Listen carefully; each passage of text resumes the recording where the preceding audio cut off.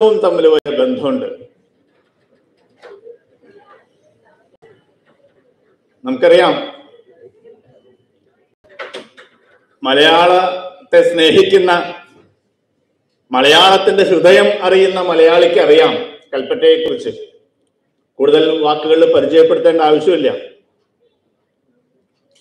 ഒരു നുള്ളു വാക്കുകൾ കൊണ്ട് തന്നെ അനുഭവങ്ങളുടെ ആകാശപ്പരപ്പുകളും അതേപോലെ കടലിന്റെ അറിവാഴങ്ങളും ഒരുമിച്ച് നമുക്ക് കാണിച്ചു തരാൻ കെൽപ്പുള്ള ഒരാളാണ് കൽപ്പറ്റ. തീർച്ചയായിട്ടും അദ്ദേഹത്തിന്റെ കവിതകൾ നമ്മൾ വായിച്ചിട്ടുണ്ടാവും.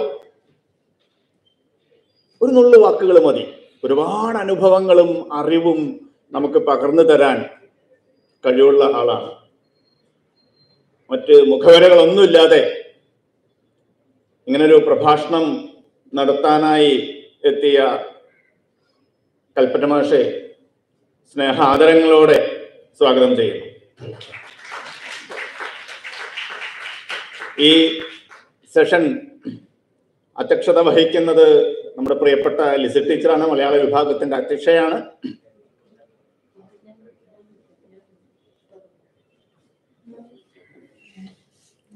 ലിസി ടീച്ചറെ ഈ സെഷൻ ചെയർ ചെയ്യുന്നതിനായി സസന്തോഷം സ്വാഗതം ചെയ്യുന്നു.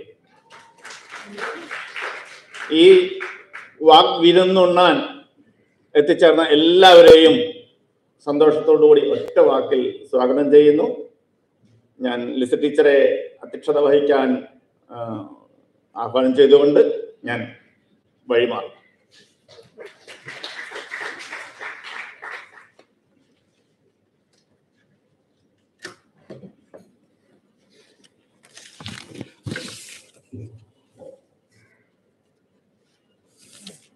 ശങ്കര ശങ്കര ജയന്തി ആഘോഷങ്ങളുടെ രണ്ടാം ഭാഗത്തിന്റെ ഭാഗമായി രണ്ടാം ദിവസത്തെ സെമിനാർ നാലാമത്തെ സെഷൻ നമ്മൾ ആരംഭിക്കുകയാണ്. കവിതയും തത്വചിന്തയും എന്ന വിഷയത്തിൽ. ഈ വിഷയത്തിൽ കേരളത്തിൽ ഏറ്റവും കൂടുതൽ സംസാരിക്കാൻ സംസാരിക്കാവുന്ന വ്യക്തി എന്ന നിലയിൽ കൽപ്പറ്റ മാഷ് നമുക്കിവിടെ എത്തിച്ചേർന്നിട്ടുണ്ട് ഈ ഒരു വിഷയം കേൾക്കുമ്പോൾ തന്നെ നമ്മുടെ ഏത് സാഹിത്യ രൂപത്തിൽ എന്നോ സാഹിത്യ രൂപത്തിൽ എന്ന് മാത്രമല്ല ഇതര സാഹിത്യ രൂപങ്ങളെ വെച്ച് നോക്കുമ്പോൾ ഏറ്റവും കൂടുതൽ തത്വചിന്ത ദാർശനികമായ തലങ്ങൾ പ്രദാനം ചെയ്യാൻ പര്യാപ്തമായ ഒന്ന് തന്നെയാണ് കവിത. നമുക്കുണ്ടായി വന്നിട്ടുള്ള കവിതകളെയൊക്കെ നമ്മൾ ആലോചിക്കുമ്പോൾ ഈ വസ്തുത നമുക്ക് ബോധ്യപ്പെടാവുന്നതുമാണ്. പെട്ടെന്ന് തത്വചിന്ത നമ്മൾ അപ്പോൾ എഴുത്തച്ഛനിലേക്ക് പോകാം. നാരായണ ഗുരുവിലേക്ക് പോകാം. ഈ രീതിയിലുള്ള വലിയൊരു പാരമ്പര്യം നമുക്കുണ്ട്. അതിനെ അല്പം കൂടി ആഴത്തിൽ നമ്മൾ പരിശോധിച്ച് നോക്കിക്കഴിഞ്ഞാൽ ദർശനങ്ങളുടെ ഒരു അടിത്തറ നമുക്ക് നമ്മുടെ സംസ്കാരത്തിൽ തന്നെ ഉണ്ട് അത് എവിടെ നിന്ന് വരുന്നു എന്ന് ചോദിച്ചു കഴിഞ്ഞാൽ പക്ഷെ ബുദ്ധ കാഴ്ചപ്പാടാവാം ജൈന കാഴ്ചപ്പാടാവാം. അതിനു മുമ്പുള്ള നിലപാടുകളൊക്കെ ആവാം. ഏത് തന്നെയായാലും വാമൊഴിയിലും വരമൊഴിയിലും ഒരേപോലെ ചില കാഴ്ചപ്പാടുകൾ കൊണ്ടു നടക്കുവാൻ മലയാളിക്ക് കഴിഞ്ഞിട്ടുണ്ട് എന്നുള്ളത് ഏറ്റവും പ്രധാനപ്പെട്ട കാര്യമാണ്. ശങ്കരാചാര്യരുടെ പേരിലുള്ള ഈ സർവകലാശാലയിൽ വെച്ച് ശങ്കരജയന്തി നമ്മൾ കൊണ്ടാടുമ്പോൾ ശങ്കരാചാര്യൻ തന്നെ നമ്മുടെ സമൂഹത്തിൽ ഇപ്പോൾ ഒരുപക്ഷെ അത് അദ്ദേഹത്തിന്റെ സംസ്കൃത രചനകൾ അല്ലെങ്കിൽ ആ ഒരു പാരമ്പര്യത്തിലുള്ള കാര്യങ്ങൾ കഥകൾ ഐതിഹ്യങ്ങൾ മിത്തുകൾ ഇങ്ങനെ പലതും ഉണ്ടാവും. അതിന്റെയും ഒക്കെ അപ്പുറത്ത് ശങ്കരാചാര്യർ കേരളീയർക്ക് ആരായിരുന്നു? ഞാൻ കേരളീയർ എന്ന് പറയുമ്പോൾ നമുക്ക് ഒരുപക്ഷെ സംസ്കൃത വിദ്യാഭ്യാസം ലഭിച്ച ആൾക്കാർ മാത്രമല്ല. വളരെ താഴേക്കിടയിലുള്ള താഴേക്കിട എന്ന് ഉദ്ദേശിക്കുന്നത് വിദ്യാഭ്യാസ സൗകര്യമില്ലാതിരുന്ന ആൾക്കാർക്ക് വരെ ശങ്കരാചാര്യർ വളരെ പ്രിയപ്പെട്ട അദ്ദേഹത്തിന്റെ കാഴ്ചപ്പാടുകൾ വളരെ പ്രിയപ്പെട്ടതായിരുന്നു എന്ന് നമുക്കറിയാം. ഇപ്പൊ കാശി വിശ്വനാഥനെ കാണാൻ പോയപ്പോൾ അദ്ദേഹം ചണ്ടാളനുമായി നടത്തിയ സംവാദത്തിലുണ്ടായ മനീഷ പഞ്ചകം നമ്മൾ നമ്മൾ അങ്ങനെ കരുതുന്ന ആ ഒരു കൃതിയിലെ ആശയങ്ങളെ എടുത്തുകൊണ്ട് ജാതി ചിന്തയെ എതിർക്കുവാൻ അതിനെ പ്രതിരോധിക്കുവാൻ വേണ്ടി മലയാളിക്ക് കഴിഞ്ഞിട്ടുണ്ട്. നമ്മുടെ പണ്ഡിറ്റ് കറുപ്പന്റെ ജാതി കുമ്മിയടക്കം ഇതിന്റെ വിവർത്തനം എത്ര സുന്ദരമായ ഒരു വിവർത്തനമാണ് ജാതി കുമ്മി നമുക്ക് കാണാൻ കഴിയുക. അതുപോലെ തന്നെ ഇത്രയും അലങ്കാരമൊന്നുമില്ലാതെ വടക്കൻ കേരളത്തിൽ പൊട്ടൻ തെയ്യത്തിന്റെ തോറ്റവും ഇതേ രീതിയിലാണ് കടന്നു വരുന്നത്. അപ്പോൾ മനീഷ പഞ്ചരത്തെ ആധാരമാക്കിക്കൊണ്ടാണ് ഒരുപക്ഷെ എല്ലാവർക്കും പരിചയമുള്ള മെഡിക്കൽ ഞങ്ങളെ പറ്റിയാലും നിങ്ങളെ പറ്റിയാലും ഒരേ ചോരയിലേക്ക് ചോദിക്കുന്ന ഇടത്തിൽ തന്നെ വെച്ചുകൊണ്ട് ചോദിക്കുന്നുണ്ട്. വലിയ ചില കാഴ്ചപ്പാടുകളുണ്ട്. അതായത് മൂന്ന് മുപ്പത്തി മൂന്ന് മരം നട്ടു മരം നട്ട കാലം. അതിൽ മൂന്ന് മരമുണ്ട് വേറെ മുളയ്ക്കാൻ. മൂന്ന് മരം അതിൽ കരിമരം പൂത്തു. ആ പൂവെടുത്ത് മണക്കായിക കൊണ്ടല്ലേ തെറ്റെന്ന് തെറ്റായി ചൊല്ലുന്ന ചൊവ്വറ് ഞങ്ങളോട് വഴി മാറാൻ പറയുന്നത് ആ മൂന്നാമത്തെ പൂവിന്റെ മൂന്നാമത്തെ മരത്തിന്റെ പൂവെടുത്ത് മണക്കാത്തത് കൊണ്ടല്ലേ എന്ന് ചോദിക്കുന്നു. ഇത് മുപ്പത്തി മുക്കോടി ദൈവങ്ങൾ അതിൽ മൂന്ന് ദൈവങ്ങൾ അതിൽ കറുത്ത ദൈവം ശൈവ ആ ഒരു ആ ഒരു രീതിയിലുള്ള കാഴ്ചപ്പാട് നിങ്ങൾക്ക് കിട്ടാത്തത് കൊണ്ടല്ലേ ഞങ്ങൾ നമ്മൾ തമ്മിൽ ഒരു വ്യത്യാസവുമില്ല എങ്കിലും ഞങ്ങളോട് വഴിമറിയ തെറ്റെന്ന് തെറ്റായി പറയുന്നു. തെറ്റാണ് തെറ്റാൻ ഞങ്ങളോട് തെറ്റായിട്ട് പറയുന്നു. നിങ്ങൾ പറയുന്നത് ശരിയല്ല എന്ന് പറയുന്ന ഒരു പാരമ്പര്യം. ഞാൻ ഇത് ഇത്രയും പറഞ്ഞത് മലയാളത്തെ സംബന്ധിച്ചിടത്തോളം മലയാള കവിതയെ സംബന്ധിച്ചിടത്തോളം ഈ വാമൊഴി കവിതകളും അതുപോലെ നമ്മുടെ ഇപ്പൊ നമുക്കറിയാം മലയാള കവിതയിൽ ഇപ്പോൾ ഗോത്ര കവിതകളൊക്കെ വളരെ സജീവമായിട്ട് വരുന്നുണ്ട്. ഇപ്പൊ പച്ചവിട് പോലുള്ള കവിതകൾ അപ്പോൾ അങ്ങനെയുള്ള കവിതകൾ സജീവമായിട്ട് നിൽക്കുന്ന ഈ ഒരു കാലത്ത് നമുക്ക് ഒന്നിനെയും മാറ്റി നിർത്തേണ്ട കാര്യമില്ല.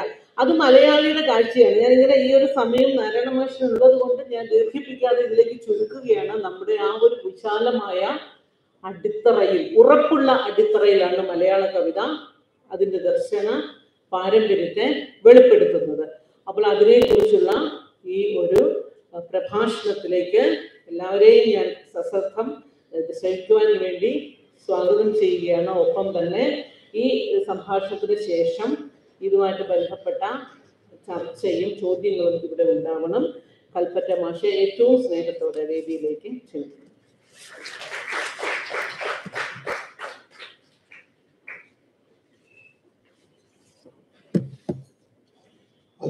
അധ്യക്ഷ ഡോക്ടർ മാത്യു.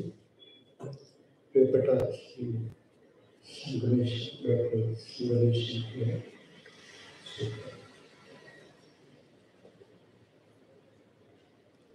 കവിതയും തത്വചിന്തയും എന്ന വിഷയം കവിയുടെ പക്ഷത്ത് നിന്നുകൊണ്ട് സംസാരിക്കാനാണ് ഞാൻ ആഗ്രഹിക്കുന്നത് അഥവാ വിഷയി കവിയാണ് എന്ന് അർത്ഥം.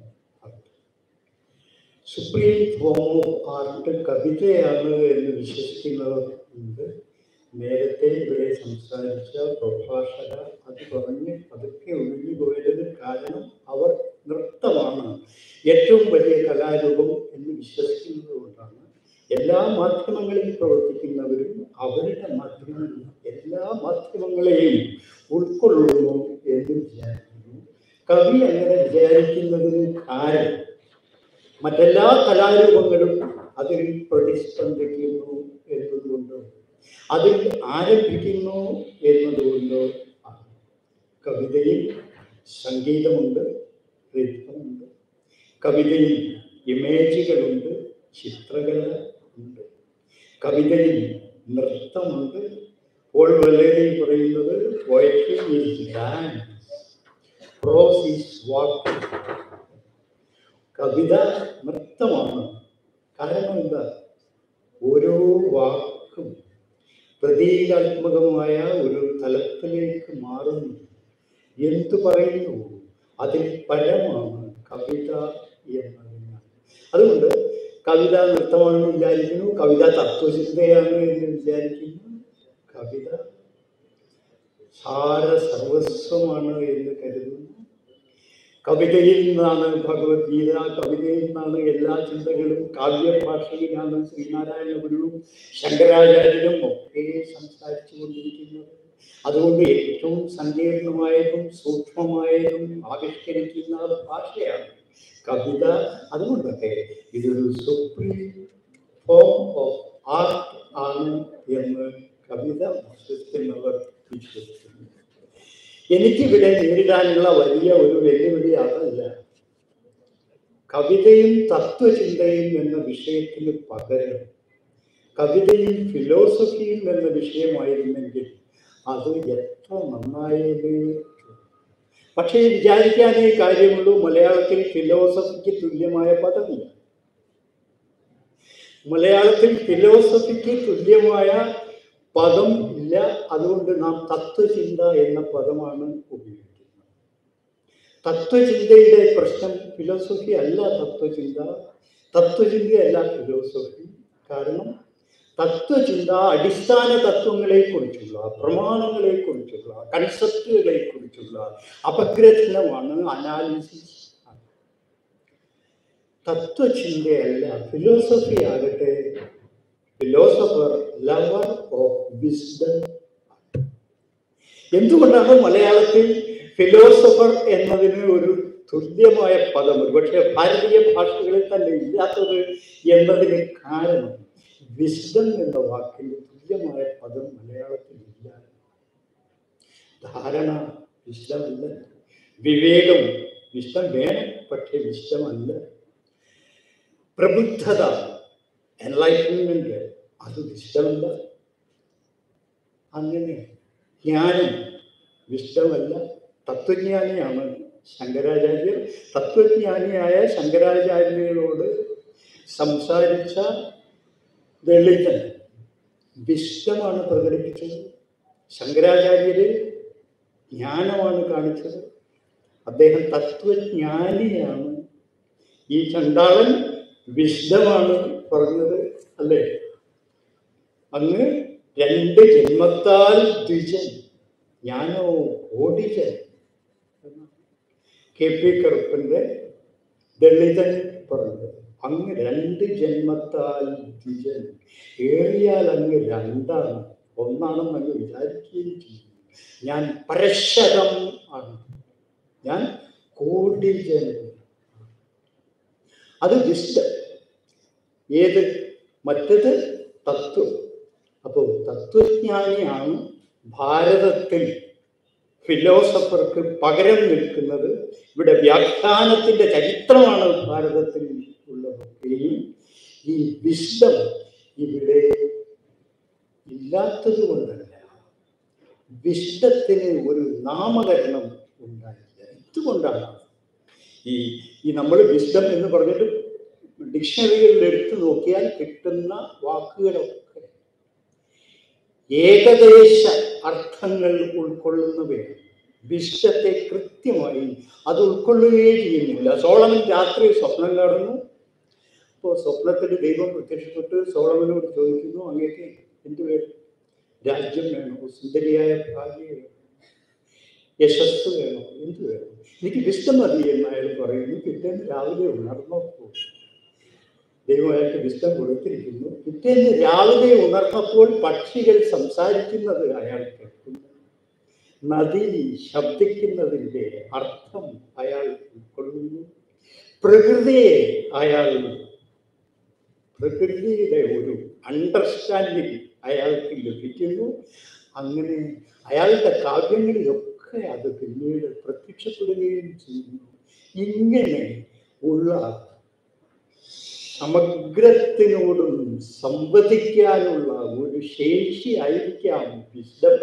ഡയജനിസ് നമുക്കറിയാം ഫിലോസഫറാണ്. അപ്പോൾ ഇരുട്ടിൽ ശ്മശാനത്തിൽ അയാളിങ്ങനെ തെരഞ്ഞു തെരഞ്ഞുകൊണ്ടിരിക്കുക. ആ സമയത്ത് അദ്ദേഹത്തിനോട് അലക്സാണ്ടർ ചോദിച്ചു എന്താ ഈ ഇരുട്ടിൽ തെരഞ്ഞുകൊണ്ടിരിക്കുന്നത് ശ്മശാനത്തിൽ? അപ്പോൾ അദ്ദേഹം പറഞ്ഞു അലക്സാണ്ടർ ചക്രവർത്തിയുടെ അച്ഛൻ ഫിലിപ്പ് രാജാവിന്റെ അസ്ഥിയും അടിമയുടെ അസ്ഥിയും തമ്മിൽ എന്താ വ്യത്യാസം എന്ന് ഞാൻ തെരഞ്ഞെടുത്ത് തെരഞ്ഞുകൊണ്ടിരിക്കുകയാണ്. തീർച്ചയായിട്ടും തത്വചിന്തയുടെ ഭാഷയല്ല അത് അത് ഫിലോസഫിയുടെ ഭാഷയാണ്. ഫിലോസഫിക്ക് വിദ്യാലയങ്ങളില്ല. ഫിലോസഫിക്ക് നിങ്ങൾക്ക് അല്ല ഫിലോസഫിക്ക് അങ്ങനെ പറയാം പിന്നെ വിശ്വത്തിന് വിദ്യാലയങ്ങളില്ല. പഠിക്കാനാകുന്നത് പഠിപ്പിക്കാനാവുകയില്ല ഫിലോസഫിക്ക് അല്ല ഇഷ്ടത്തിന് വിദ്യാലയങ്ങളെ ഇല്ല വിദ്യാലയങ്ങൾ സാധ്യവുമില്ല. അത് അനന്തമായമായി ഭൂമിയിൽ നമ്മൾ ചിലപ്പോൾ അതിന്റെ വക്താക്കൾ ആയിത്തീരുന്നു. വിശ്വം എന്നും ഇവിടെ ഒരു സൂഫി കഥ. വാസ്തവത്തിൽ വിശ്വ പണ്ഡിതനല്ല അയാളുടെ ലക്ഷണമല്ല അയാൾ പ്രബുദ്ധനല്ല അയാൾ പഠിച്ചിട്ടില്ല പഠിച്ചിട്ടും ഉണ്ടാകാം അപ്പോൾ ഒരു സൂഫി സന്യാസി മുഷിഞ്ഞുലഞ്ഞ വസ്ത്രങ്ങളാണ് കയറി പറഞ്ഞിട്ടുണ്ട് അങ്ങനെ ആകെ അശ്രദ്ധയുള്ള ഒരാൾ ഹയർ ഇഗ്നറൻസിനെ കുറിച്ച് സോക്രട്ടീസ് പറയുന്നുണ്ട്. അതുപോലെയുള്ള ഒരാൾ. അയാൾ അകത്തേക്ക് വന്നു. രാജാവിന്റെ മുമ്പിൽ അകത്തേക്ക് വരുന്നു രാജഗ്രഹത്തിലേക്ക് വരുന്നു രാജസഭയിൽ രാജാവിന്റെ മുമ്പിൽ തന്നെ ഇരിക്കുന്നു. അപ്പൊ രാജാവിന് കോപം വന്നു. ഒരു സമ്മതമില്ലാതെ വന്നിരിക്കുന്നു. അറിയൂ? അറിയ minister no I am beyond that are you king no I am beyond that അപ്പോ രാജാവിന് ശരിക്കും കോപം വന്നു. നത്തിങ് ഈസ് ബിയോണ്ട് മീ അപ്പോൾ അയാൾ പറഞ്ഞു that nothing is me that is this അപ്പോൾ നത്തിങ് ഈസ് റിയൽ എന്ന് പറഞ്ഞാൽ ഒന്നുമില്ലായ്മയാണ് റിയൽ എന്നാണ് ഇല്ല അപ്പൊ അത് വിശ്വത്തിന്റെ ഭാഷ. ഇങ്ങനെയുള്ള ഒരു വിശ്വവുമായിട്ടാണ് കവിക്ക് കൂട്ട് തത്വചിന്തകനും ആയിട്ട് തത്വചിന്തകനോട് യാത്രാമധ്യേ കവി കുശലം പറയുന്നുണ്ടാകാം പക്ഷേ ഫിലോസഫറോട് മാത്രമേ അയാൾ സദാ സംവദിക്കുന്നുള്ളൂ. അയാൾ സന്തത സഹചാരിയായിരിക്കുന്നു. എപ്പോ ഫിലോസഫി അയാളിൽ നിന്ന് അയാളുടെ വാക്കുകളിൽ പ്രതിഫലിക്കപ്പെടുന്നു അപ്പോ അയാൾ കൂടുതൽ സ്വീകാര്യനായിരിക്കുന്നു. എല്ലാ മികച്ച വാക്യങ്ങളും ലോകം ഓർത്തുകൊണ്ടിരിക്കുന്ന വാക്യങ്ങളും അവിസ്മരണീയങ്ങളായ വാക്യങ്ങളും ഫിലോസഫിയുടെയും കവിതയും കവിതയുടെയും കൂട്ടുൽപ്പന്നമാണ് അതുകൊണ്ട് വല്ലപ്പോഴും ഒന്ന ഒരു ബന്ധമല്ല. ഇന്ന നേരമെന്തേതും അറിയില്ല എന്ന് പൊന്താനം പറയുമ്പോൾ അത് വിശ്വത്തിന്റെയും കവിതയുടെയും ബന്ധത്തെയാണ് നമുക്ക് കാണിച്ചു തരുന്നത്. വിശ്വം എന്ന് പറയുന്നത് അത്ഭുതകരമായി നമ്മുടെ ശേഷിയാൽ അല്ലാതെ പ്രത്യക്ഷപ്പെടുന്ന ഒന്നാണ്. ആ ശേഷിയെ നാം കണ്ടെത്തുകയാണ് പിന്നീട് ചെയ്യുന്നത്. We a path and the path gone behind നമ്മൾ യാത്ര ചെയ്യും. വഴിയിലൂടെയാണ്. യാത്ര കഴിയുമ്പോൾ നമ്മുടെ പിന്നിൽ വഴി വി ജേണിഷ് വിത്തൗട്ട് ഒരു കവി അല്ലെങ്കിൽ ഒരു ഫിലോസഫർ നോട്ട് തത്വചിന്തകൻ. തത്വചിന്തകന്റെ ഒരു വ്യത്യാസം എന്ന് പറഞ്ഞാൽ ഭൂമിയിലെ അളവുകോലുകളും ഘടികാരവും ഉപയോഗിച്ച് അളക്കുന്ന ഒരാളാണ് യുക്തിയുടെ വഴിയിലൂടെ സഞ്ചരിക്കുന്ന ഒരാളാണ്. വിശ്വം എന്ന് പറയുന്നത് യുക്തിക്ക് അതീതമായിട്ടുള്ള ഒരു കാര്യം. ഈ വിഷമാണ് ഫിലോസഫർ പക്ഷെ ആ ഫിലോസഫർ എപ്പോ അവസാനിക്കുന്നു എന്നൊക്കെ നോക്കിയാൽ ഒരു പ്രീ സോക്രാട്ടിക് പീരീഡിൽ കവിത വേറെയായിരുന്നില്ല ശാസ്ത്രം വേറെയായിരുന്നില്ല മിത്ത് വേറെയായിരുന്നില്ല ചരിത്രം വേറെയായിരുന്നില്ല ഫിസിക്സ് വേറെ ആയിരുന്നില്ല പിന്നെ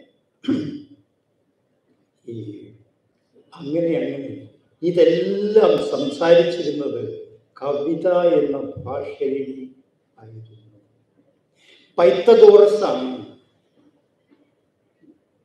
ഫിലോസഫർ എന്ന വാക്ക് ആദ്യം ഉപയോഗിക്കുന്നത്. അദ്ദേഹം ഗണിത ശാസ്ത്രജ്ഞനായിരുന്നു ഇന്നത്തെ നിലയിൽ. പക്ഷേ പ്രീ സോക്രാറ്റിക് പിരീഡിൽ അങ്ങനെ വിഭജനങ്ങൾ ഉണ്ടായിരുന്നില്ല. ആ കാലത്താണ് ഈ പൈത്തഗോളം സൃഷ്ടിച്ചതാണ് ഈ ഫിലോസഫർ ഏതർത്ഥത്തിൽ ലവർ ഓഫ് വിസ്ഡം എന്ന അർത്ഥത്തിൽ ആണ്. അപ്പൊ ഈ ഒരു ഘട്ടത്തിൽ ഹെറാക്ലിറ്റസിന്റെ വാക്യങ്ങളൊക്കെ കവിതയല്ലേ എല്ലാം മനോഹരമാണ് ഒരേ പുഴയിൽ നിങ്ങൾക്ക് രണ്ടു തവണ കാലുകുത്താനാവുകയില്ല എന്ന് പറയുമ്പോൾ പ്രത്യക്ഷത്തിൽ പറയുന്നതല്ല നിത്യനവീനമായ ഒരു പ്രാപഞ്ചിക അനുഭവത്തെക്കുറിച്ചുള്ള ആവിഷ്കാരമാണ്. അഥവാ അതല്ലായതായി തീരുമ്പോൾ നിശ്ചലമായി തീരുന്നു എല്ലാം. വളരെ മനോഹരമായിട്ടുള്ള ഒരു കഥയുണ്ട് കാഫ്കയുടെ ഫിലോസഫർ എന്ന്. ഈ കഫയുടെ കഥയിൽ ഒരു ഈ കഥയിലെ കഥാപാത്രം പമ്പരം കറക്കുന്ന കുട്ടികളുടെ അടുത്ത് പോയി അവർ കറക്കാൻ തുടങ്ങിയാൽ ഈ പമ്പരമായിട്ട് പല്ല് അങ്ങനെ എന്താണ് ഇതിന്റെ കാരണം? എന്നിട്ട് ഇത് നിലച്ചു കഴിയുമ്പോൾ പമ്പരത്തിന്റെ കറക്ക നിലച്ചു കഴിയുമ്പോൾ കേവലം മരക്കഷ്ണമായി തീരുന്ന ഈ പമ്പരം അയാളെ ഓക്കാനിപ്പിക്കും. അതിൽ ജീവിതം അതിൽ ചലനമില്ല. ഇതിൽ ചലനമുണ്ട്. ഇത് പിടിച്ചെടുക്കുക എന്നതാണ് ഈ ഫിലോസഫറുടെ ഉദ്ദേശം എന്നാണ് കാഫ്ക പറയുന്നത്. ബിയോണ്ട് കോംപ്രിഹെൻഷൻ ആയ ഒന്നിനെ കോംപ്രിഹെൻഡ് ചെയ്യുക എന്നതാണ് അവിടെ പിടിച്ചെടുക്കാൻ കഴിയില്ല. അപ്പോഴത്തേക്കും നില അപ്പോൾ അയാൾ ഉപേക്ഷിക്കുകയും. ഇതേ സംഗതിയാണ് ഒരു പക്ഷേ നാരായണത്ത് പ്രാന്തനും ചെയ്തുകൊണ്ടിരുന്നത്. അയാളും ചലിക്കുന്ന ഈ അവസ്ഥയിലേക്ക് വിടുകയാണ് ഈ ഒരു അവസ്ഥയാണ് വാസ്തവത്തിൽ ഹെറാക്ലിറ്റസിന്റെ വരികളും ഈ ഒരു ഒഴുക്ക് പിടിച്ചെടുക്കുക.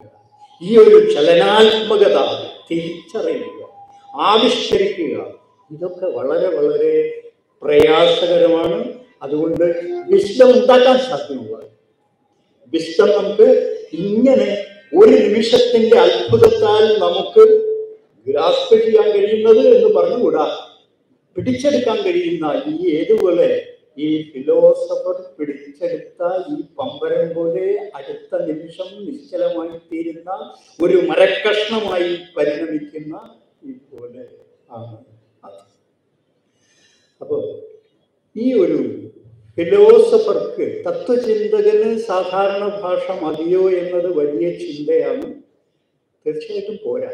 കവിയെപ്പോലെ തന്നെ കരുതലോടുകൂടി ഭാഷ ഉപയോഗിക്കും. മലയാളത്തിലെ രണ്ട് നല്ല തത്വചിന്തകർ എന്ന് ഇപ്പോൾ ജീവിച്ചിരിക്കുന്നവരിൽ പറയാവുന്നത് നിഷാർ അഹമ്മദിനെയും ടി വി മധുവിനെയുമാണ്. ഈ രണ്ടുപേരും എത്ര സൂക്ഷ്മതരമായിട്ടാണ് ഭാഷ ഉപയോഗിക്കുന്നത്? എന്തുകൊണ്ടാണ് നിഷാറിനെ വായിക്കാൻ നമുക്ക് സങ്കീർണമായി തോന്നുന്നത് പ്രയാസകരമായി തോന്നുന്നത് എന്നാണെങ്കിൽ ഭാഷയിൽ നമുക്ക് അവധാനതയില്ലാത്തത് കൊണ്ടാണ്. അല്ലാതെ നിസാറിന്റെ പ്രശ്നമല്ല എന്നതാണ് അതിന്റെ നമുക്ക് അവധാനതയില്ല അല്ലെങ്കിൽ മലയാളത്തിൽ നിന്ന് ഏറ്റവും നല്ല ഗതി എഴുതുന്ന ആളാണ് ടി വി മോഹൻ പക്ഷെ നമുക്ക് അവധാനതയില്ല അത് കാരണം ഈ മനോഹരമായിട്ടുള്ള ഗദ്യം നമുക്ക് സാധ്യമല്ല. അതിനവീനമായിട്ടുള്ള ഒരു ഭാഷയിലാണ് അതിനുവേണ്ടിയുള്ള ശ്രമമാണ്. പറയുന്നത് പുതിയതാകുമ്പോൾ പുതിയതാകണം ഭാഷ എന്ന ഹൈദക്കർ പറയും അല്ലാത്ത ഭാഷയിൽ സാധ്യമല്ല. ഇത് പുതിയ ഭാഷയിൽ മാത്രമേ പുതിയ ഒരു ജ്ഞാനം കൊണ്ടുവരാൻ സാധിക്കൂ. നിങ്ങളിൽ പാപം ചെയ്യാത്തവർ കല്ലെറിയട്ടെ എന്ന് പറയുന്നത് പുതിയ നിയമം. ക്രിസ്തു. അതുവരെ പറയപ്പെട്ടിട്ടില്ല അങ്ങനെ ഒരു വാക്യം.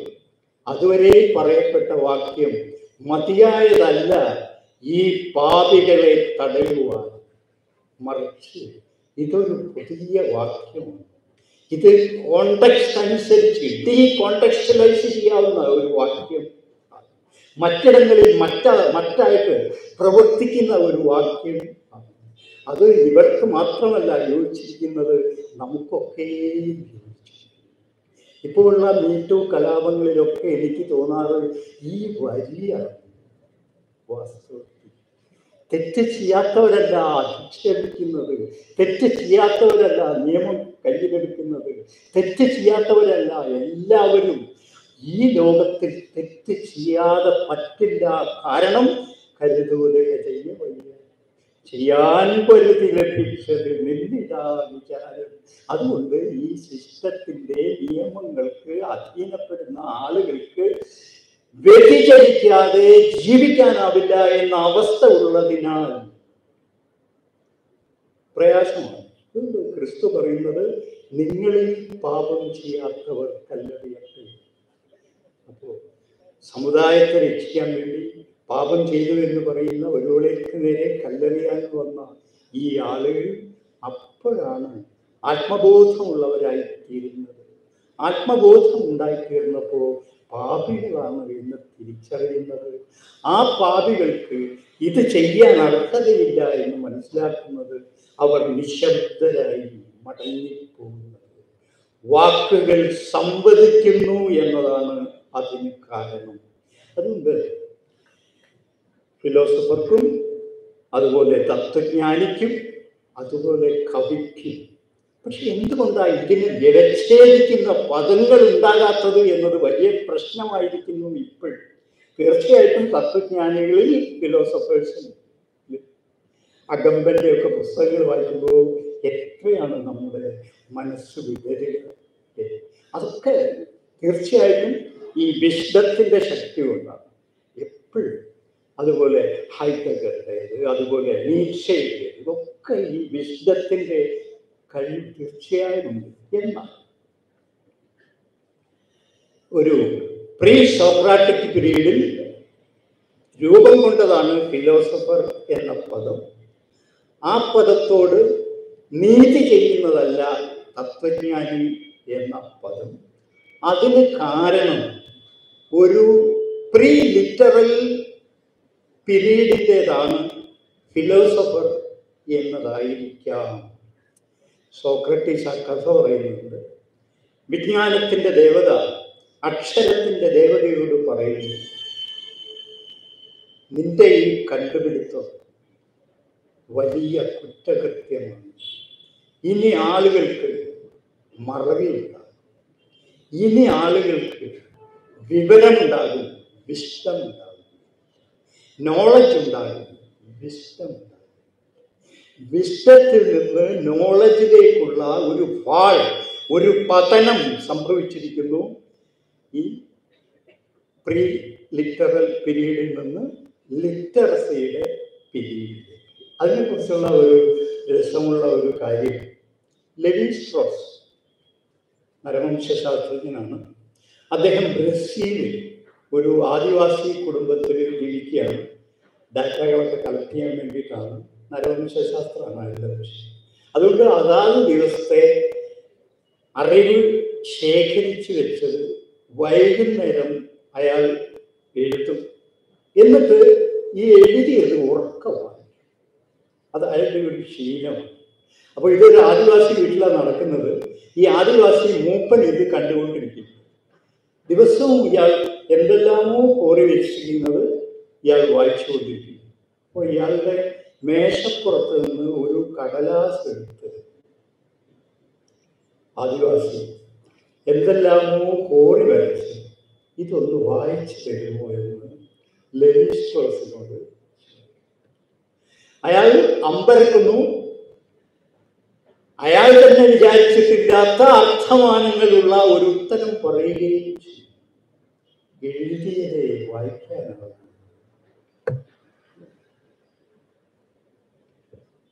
മുമ്പ് നമുക്ക് എഴുതാത്തത് വായിക്കാനുള്ള ശേഷി ഉണ്ടായിരുന്നു എങ്കിൽ പിന്നീട് നമുക്ക് എഴുതിയത് വായിക്കാനുള്ള ഭാഷാനന്തര ലോകത്തിൽ ഭാഷയിലൂടെ ചെല്ലാവുന്നിടത്തെ നമുക്ക് ചെല്ലാനാവൂ. ആരുമെത്താത്തിടത്തെത്താനാവില്ല ഈ വാഹനങ്ങളിൽ. ധർമ്മപാതയിൽ ബുദ്ധം പറഞ്ഞു ഒരാളും ചെല്ലാത്ത ദിക്കിൽ ചെല്ലണമെങ്കിൽ ഈ പൊതുവാഹനങ്ങൾ പറ്റില്ല. പിന്നെ അതെ രാജൻ കാക്കനാടൻ നടന്നതുപോലെ നടന്ന മാത്രമേ ആരും എത്താത്തിടത്തെത്താനാവില്ല ഈ വാഹനങ്ങളിൽ? ഒരു വാഹനമാണ് ഈ ഭാഷ. ഭാഷയ്ക്ക് പരിധി ഭാഷയ്ക്ക് അതാണ് ഈ വാസ്തവത്തിൽ കവിയെ വഴക്ക് പറഞ്ഞ ആളാണ് പ്ലേറ്റോ റിപ്പബ്ലിക്കിൽ നിന്ന് മാറ്റി നിർത്തിയ ആളാണ്. പക്ഷെ അദ്ദേഹത്തിന്റെ ഉദാഹരണങ്ങളൊക്കെ കാവ്യമയങ്ങളായി. ഈ കേവ് തിയറിയെ കുറിച്ചുള്ളത് തന്നെ ഏറ്റവും മനോഹരമായിട്ടുള്ള ഒരു സങ്കല്പമാണ്. ഈ പ്രതിച്ഛായകൾ മാത്രമേ നിങ്ങൾക്ക് കാണാൻ സാധിക്കൂ എന്നാണ് അതിലൂടെ പ്ലാറ്റോ പറയുന്നത്. സത്യമായിട്ടും അതാണ്. പിന്നീട് കാൻഡ് അത് തന്നെ പറഞ്ഞു. തിങ് ഇൻ ഇറ്റ് ഇറ്റ്സെൽഫ് എന്ന് പറയുന്നത് നമുക്ക് അനുഭവിക്കാൻ പറ്റും. തിങ് ഇൻ ഇറ്റ്സെൽഫ് എന്ന് പറയുന്നത് നമ്മുടെ പെർസെപ്ഷൻ അനുസരിച്ച് കിട്ടുന്ന വ്യാഖ്യാനത്തിന്റെ രൂപത്തിൽ മാത്രമേ നമുക്ക് മനസ്സിലാകൂ. നമ്മുടെ ഇന്ദ്രിയങ്ങൾ നമ്മുടെ ചിന്തകൾ നമ്മുടെ പിന്നെ പിന്നെ ഭാഷ ഇതെല്ലാം എത്ര കണ്ട് ശേഷിയുള്ളതാണോ? ആ വിധത്തിലെ യാഥാർത്ഥ്യത്തെ നമുക്ക് മനസ്സിലാക്കണം യാഥാർത്ഥ്യം നമുക്ക് മനസ്സിലാക്കാനേ സാധ്യമല്ല എന്നതിന് അതിമനോഹരമായിട്ടാണ് പ്ലാറ്റോ ഈ ഉദാഹരണം പറഞ്ഞത് ആ ഉദാഹരണം ശരിക്കും ഒരു പോയറ്റ് പറയുന്ന ഉദാഹരണമാണ്? അതുകൊണ്ടാണ് പോയറ്റിനെ പുറത്താക്കുമ്പോഴും പോയറ്റിന്റെ ഭാഷയിലാണ് അദ്ദേഹം സംസാരിച്ചു സംസാരിച്ചുകൊണ്ടിരുന്നത് അപ്പോൾ നമ്മൾ പറഞ്ഞു വന്നത് ഈ ഭാഷാനന്തര ഏകാന്തത പോലും ഏകാന്തതയില്ല. എന്താണ് ആ മൗനത്തിന്റെ അർത്ഥം എന്ന് നമ്മൾ ആലോചിക്കും. ഭാഷാ പൂർവകാലത്തെ ഏകാന്തത നമുക്കിനി സൃഷ്ടിക്കാൻ സാധ്യമാണ് നാം ഭാഷയാൽ മലിനമാക്കപ്പെട്ടവര് ഇങ്ങനെ വഴി ചെറുതാക്കപ്പെട്ടവരുമാണ്. അതിലൂടെ നടക്കാൻ മാത്രമേ നമുക്ക് സാധിക്കൂ. ഭാഷാനന്തര ലോകത്തിലാണ് ഭാഷാനന്തര ലോകം അതും കഴിഞ്ഞിട്ടാണ് അതിലും ചുരുങ്ങിയതായിരിക്കാം. എഴുത്തിന്റെതായ അത് നമുക്ക് മനസ്സിലാക്കാവുന്നതേ ഉള്ളൂ. ഈ എഴുത്തുവിദ്യ പകരാത്തവർക്കിടയിലൊന്നും അല്ലെങ്കിൽ അറിയാത്തവർക്കിടയിലൊന്നും വിശുദ്ധമില്ല എന്ന് നമുക്ക് ഒരു കാരണത്താലും പറയാനാവില്ല. അവർക്ക് വൈദ്യമുണ്ട് അവർക്ക് പഴഞ്ചൊല്ലുകളുണ്ട് അവർക്ക് കഥകളുണ്ട് അവർക്ക് പാട്ടുകളുണ്ട്. അപ്പോൾ ഇപ്പോൾ നേരത്തെ കെ പി കറുപ്പന്റെ ദളിതൻ ആവിഷ്കരിച്ചതുപോലെ അത്ഭുതകരമായ ഉത്തരങ്ങളെ ആവിഷ്കരിക്കാൻ അവർക്ക് സാധിക്കും. അതൊക്കെ ഒരു പക്ഷേ ഈ ഭാഷയാൽ അവർ നിയന്ത്രിക്കപ്പെട്ടിട്ടില്ലാത്തതിനാലോ സങ്കോചിപ്പിക്കപ്പെട്ടിട്ടില്ലാത്തതിനാലോ അങ്ങനെ സങ്കോചിപ്പിക്കപ്പെട്ട ഒരു കാലത്താണ് ഏതുണ്ടായിരുന്നത്?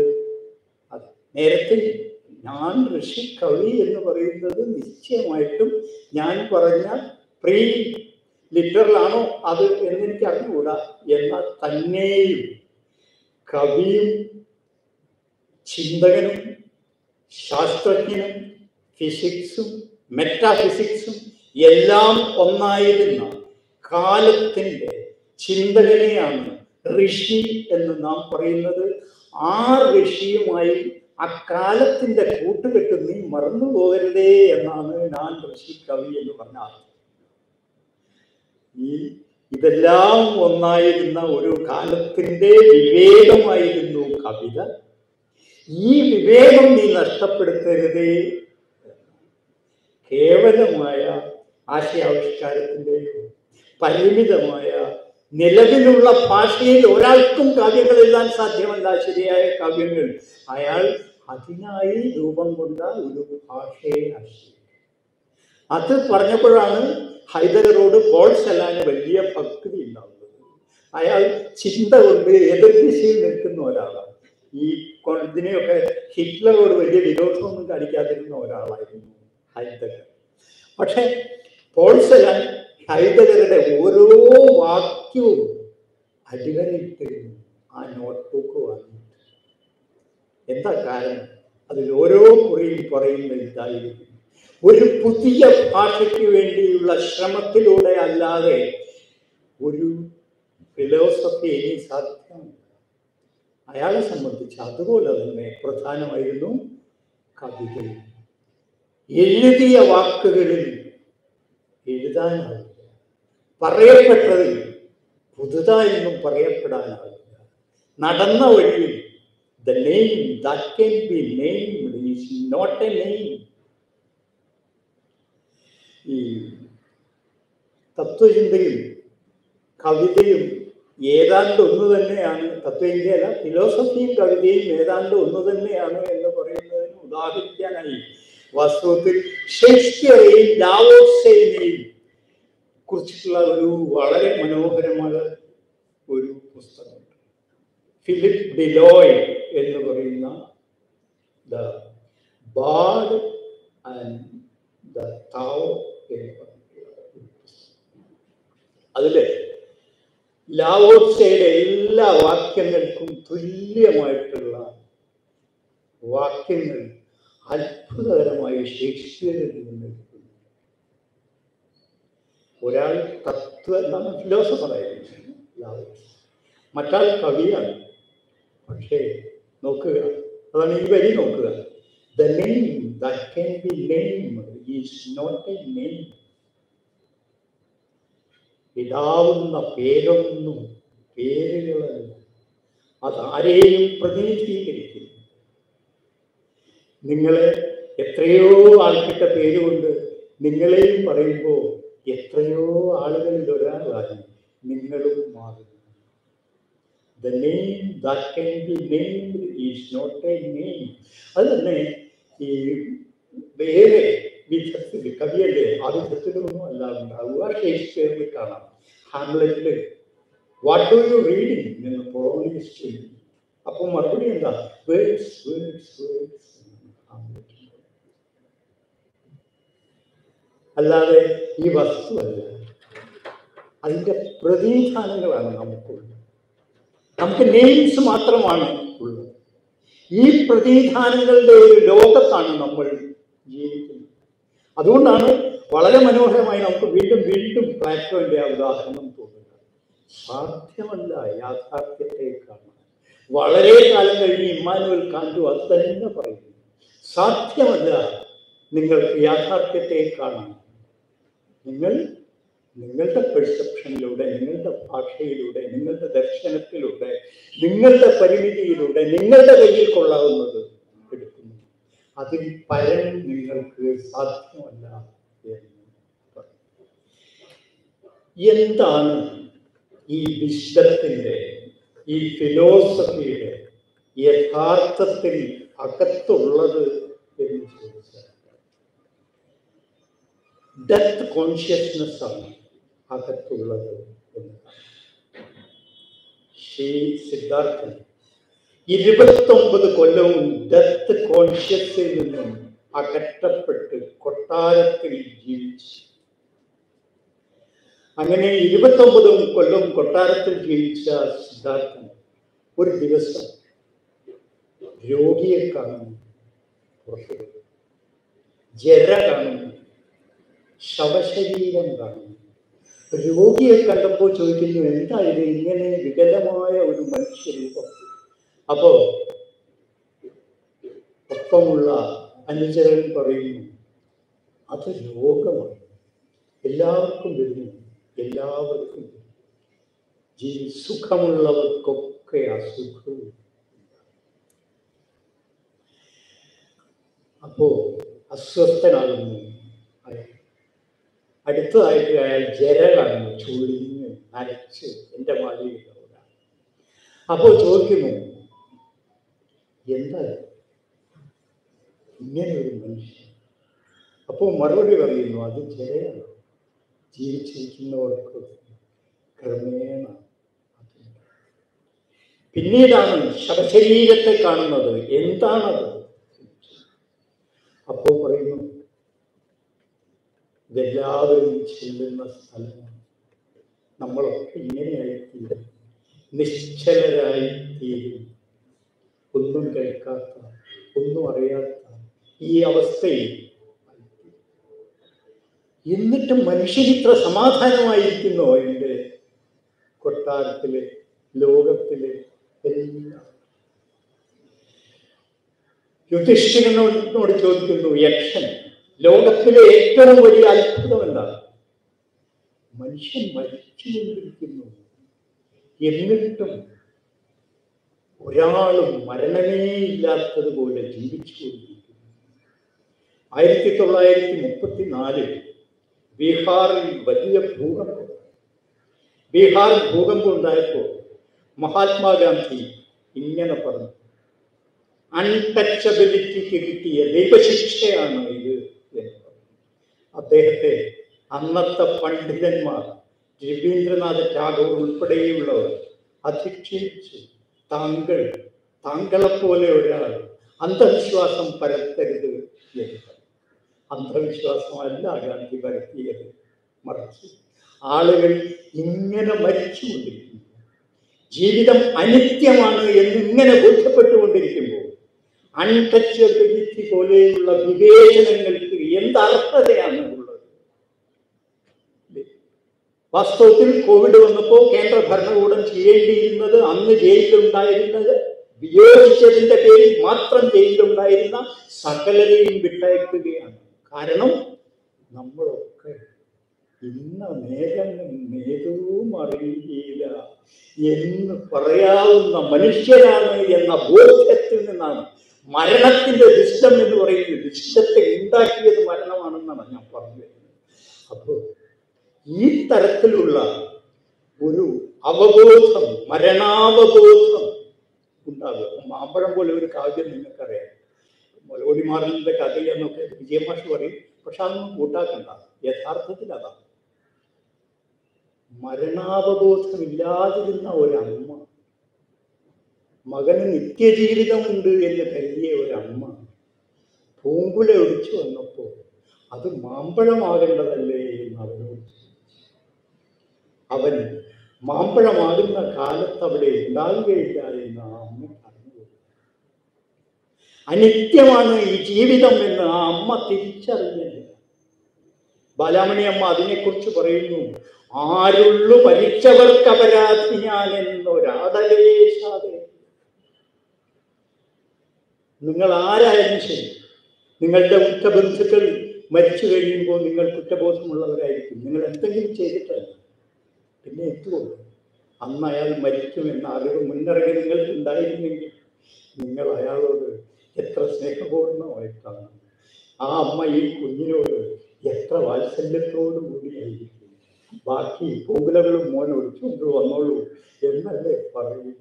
ഈ മരണാവബോധം ഇല്ലാത്തത് കൊണ്ട് മാത്രമാണ് ഈ അമ്മ അങ്ങനെ പ്രവർത്തിച്ചത്. ഇനി മാമ്പഴം വൈരപ്പിള്ളി എഴുതിയതിന് എന്തിനാ?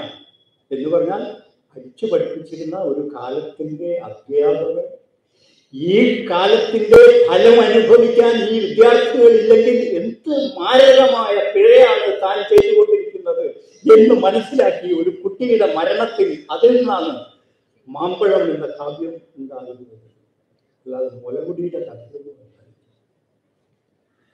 അപ്പോ ഈ മരണമാണ് നിത്യഭാവം. പക്ഷേ ജീവജാലങ്ങളിൽ നിന്ന് അത് മറയ്ക്കപ്പെട്ടിരിക്കുന്നു. മരിക്കുമ്പോൾ മാത്രമാണ് അവർക്ക് മരണമുള്ളത്. മുൻ നിമിഷത്തിൽ അവർ അനശ്വരാണ് അങ്ങനെ അനുഗ്രഹിക്കപ്പെട്ടവരാണ് മനുഷ്യരൊഴികെയുള്ള എല്ലാ ജീവജാലങ്ങളും. മനുഷ്യരിൽ പാതി ബോധമുണ്ട് പാതി അബോധമുണ്ട്. ഈ പാതി അബോധത്തിൽ നമ്മൾ സുഖമായി ജീവിക്കുന്നു.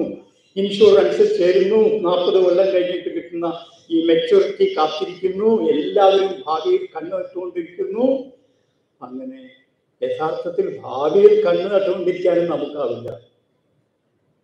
പാസ്റ്റിന്റെ ഫ്യൂച്ചറോ പാസ്റ്റിന്റെ പ്രസന്റോ മാത്രമേ ഉള്ളൂ.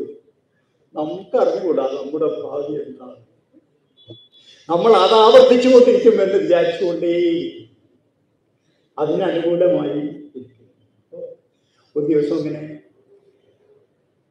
ഒരു കവിത ഉദ്ദേശിച്ചു ഞാനിങ്ങനെ നടക്കാൻ പോയപ്പോൾ ഒരു അറവ് മാടിനെ അയച്ചു ചെത്തി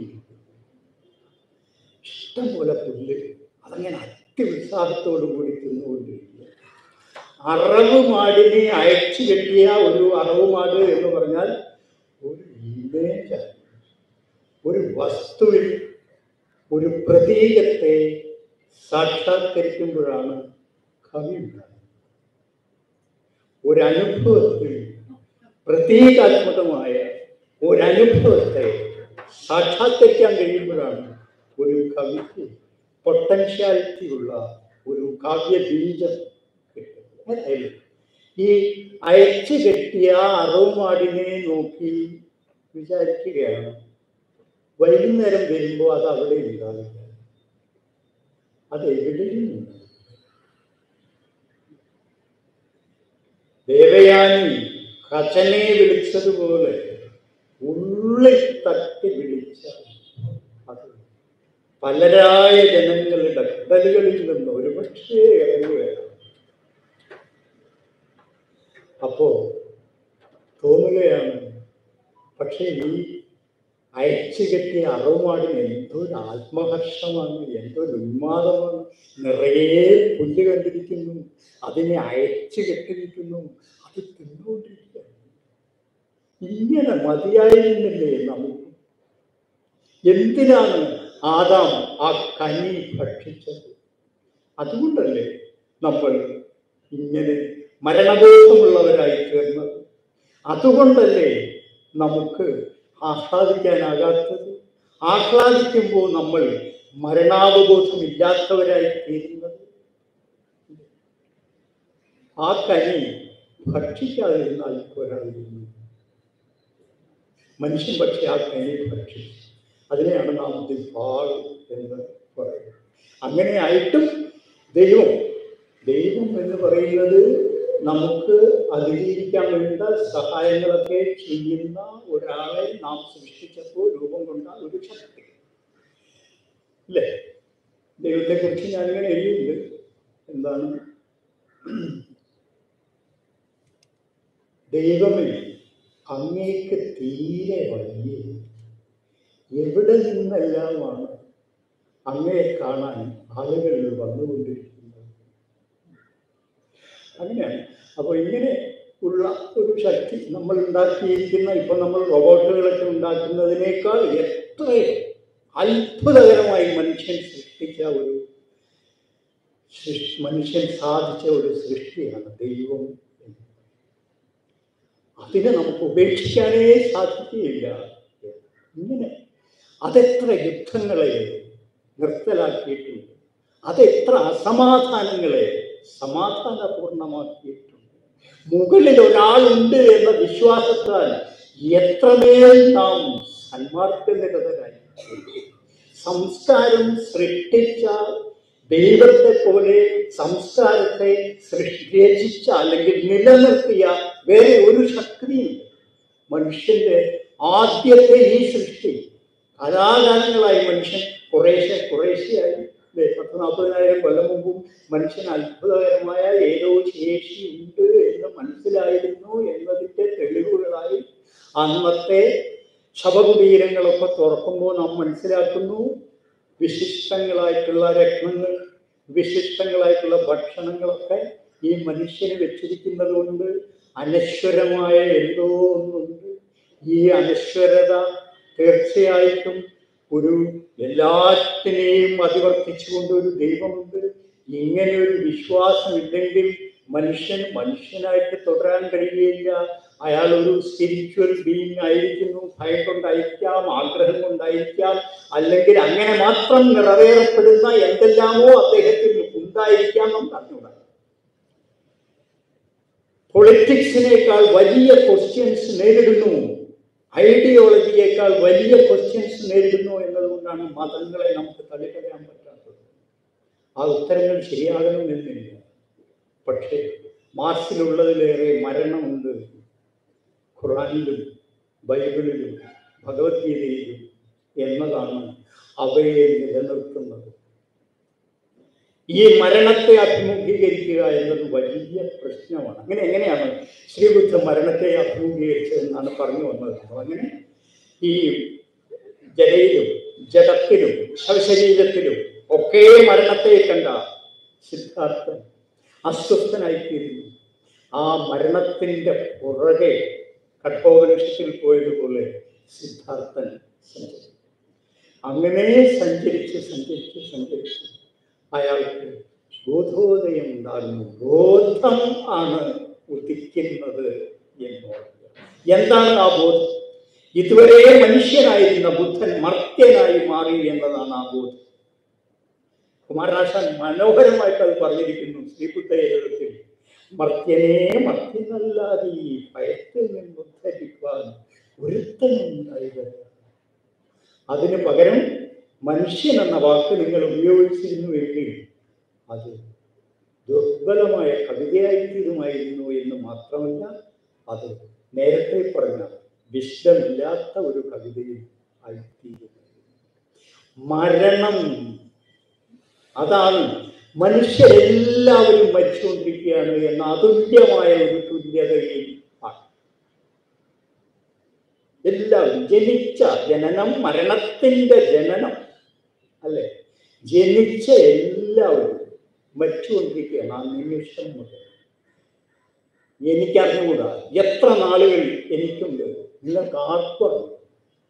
ഇതിലാണ് തുല്യത ലോകത്തിൽ ഉള്ളത് ഡെത്താണ് വലിയ ഇക്വാലിറ്റി ലോകത്തിൽ സൃഷ്ടിച്ചിരിക്കുന്നത്. എന്തുകൊണ്ടാണ്? ഒരു ഐഡന്റിറ്റിയെ മനുഷ്യന് സത്യമായി ഉള്ളൂ. അതെന്താണ്?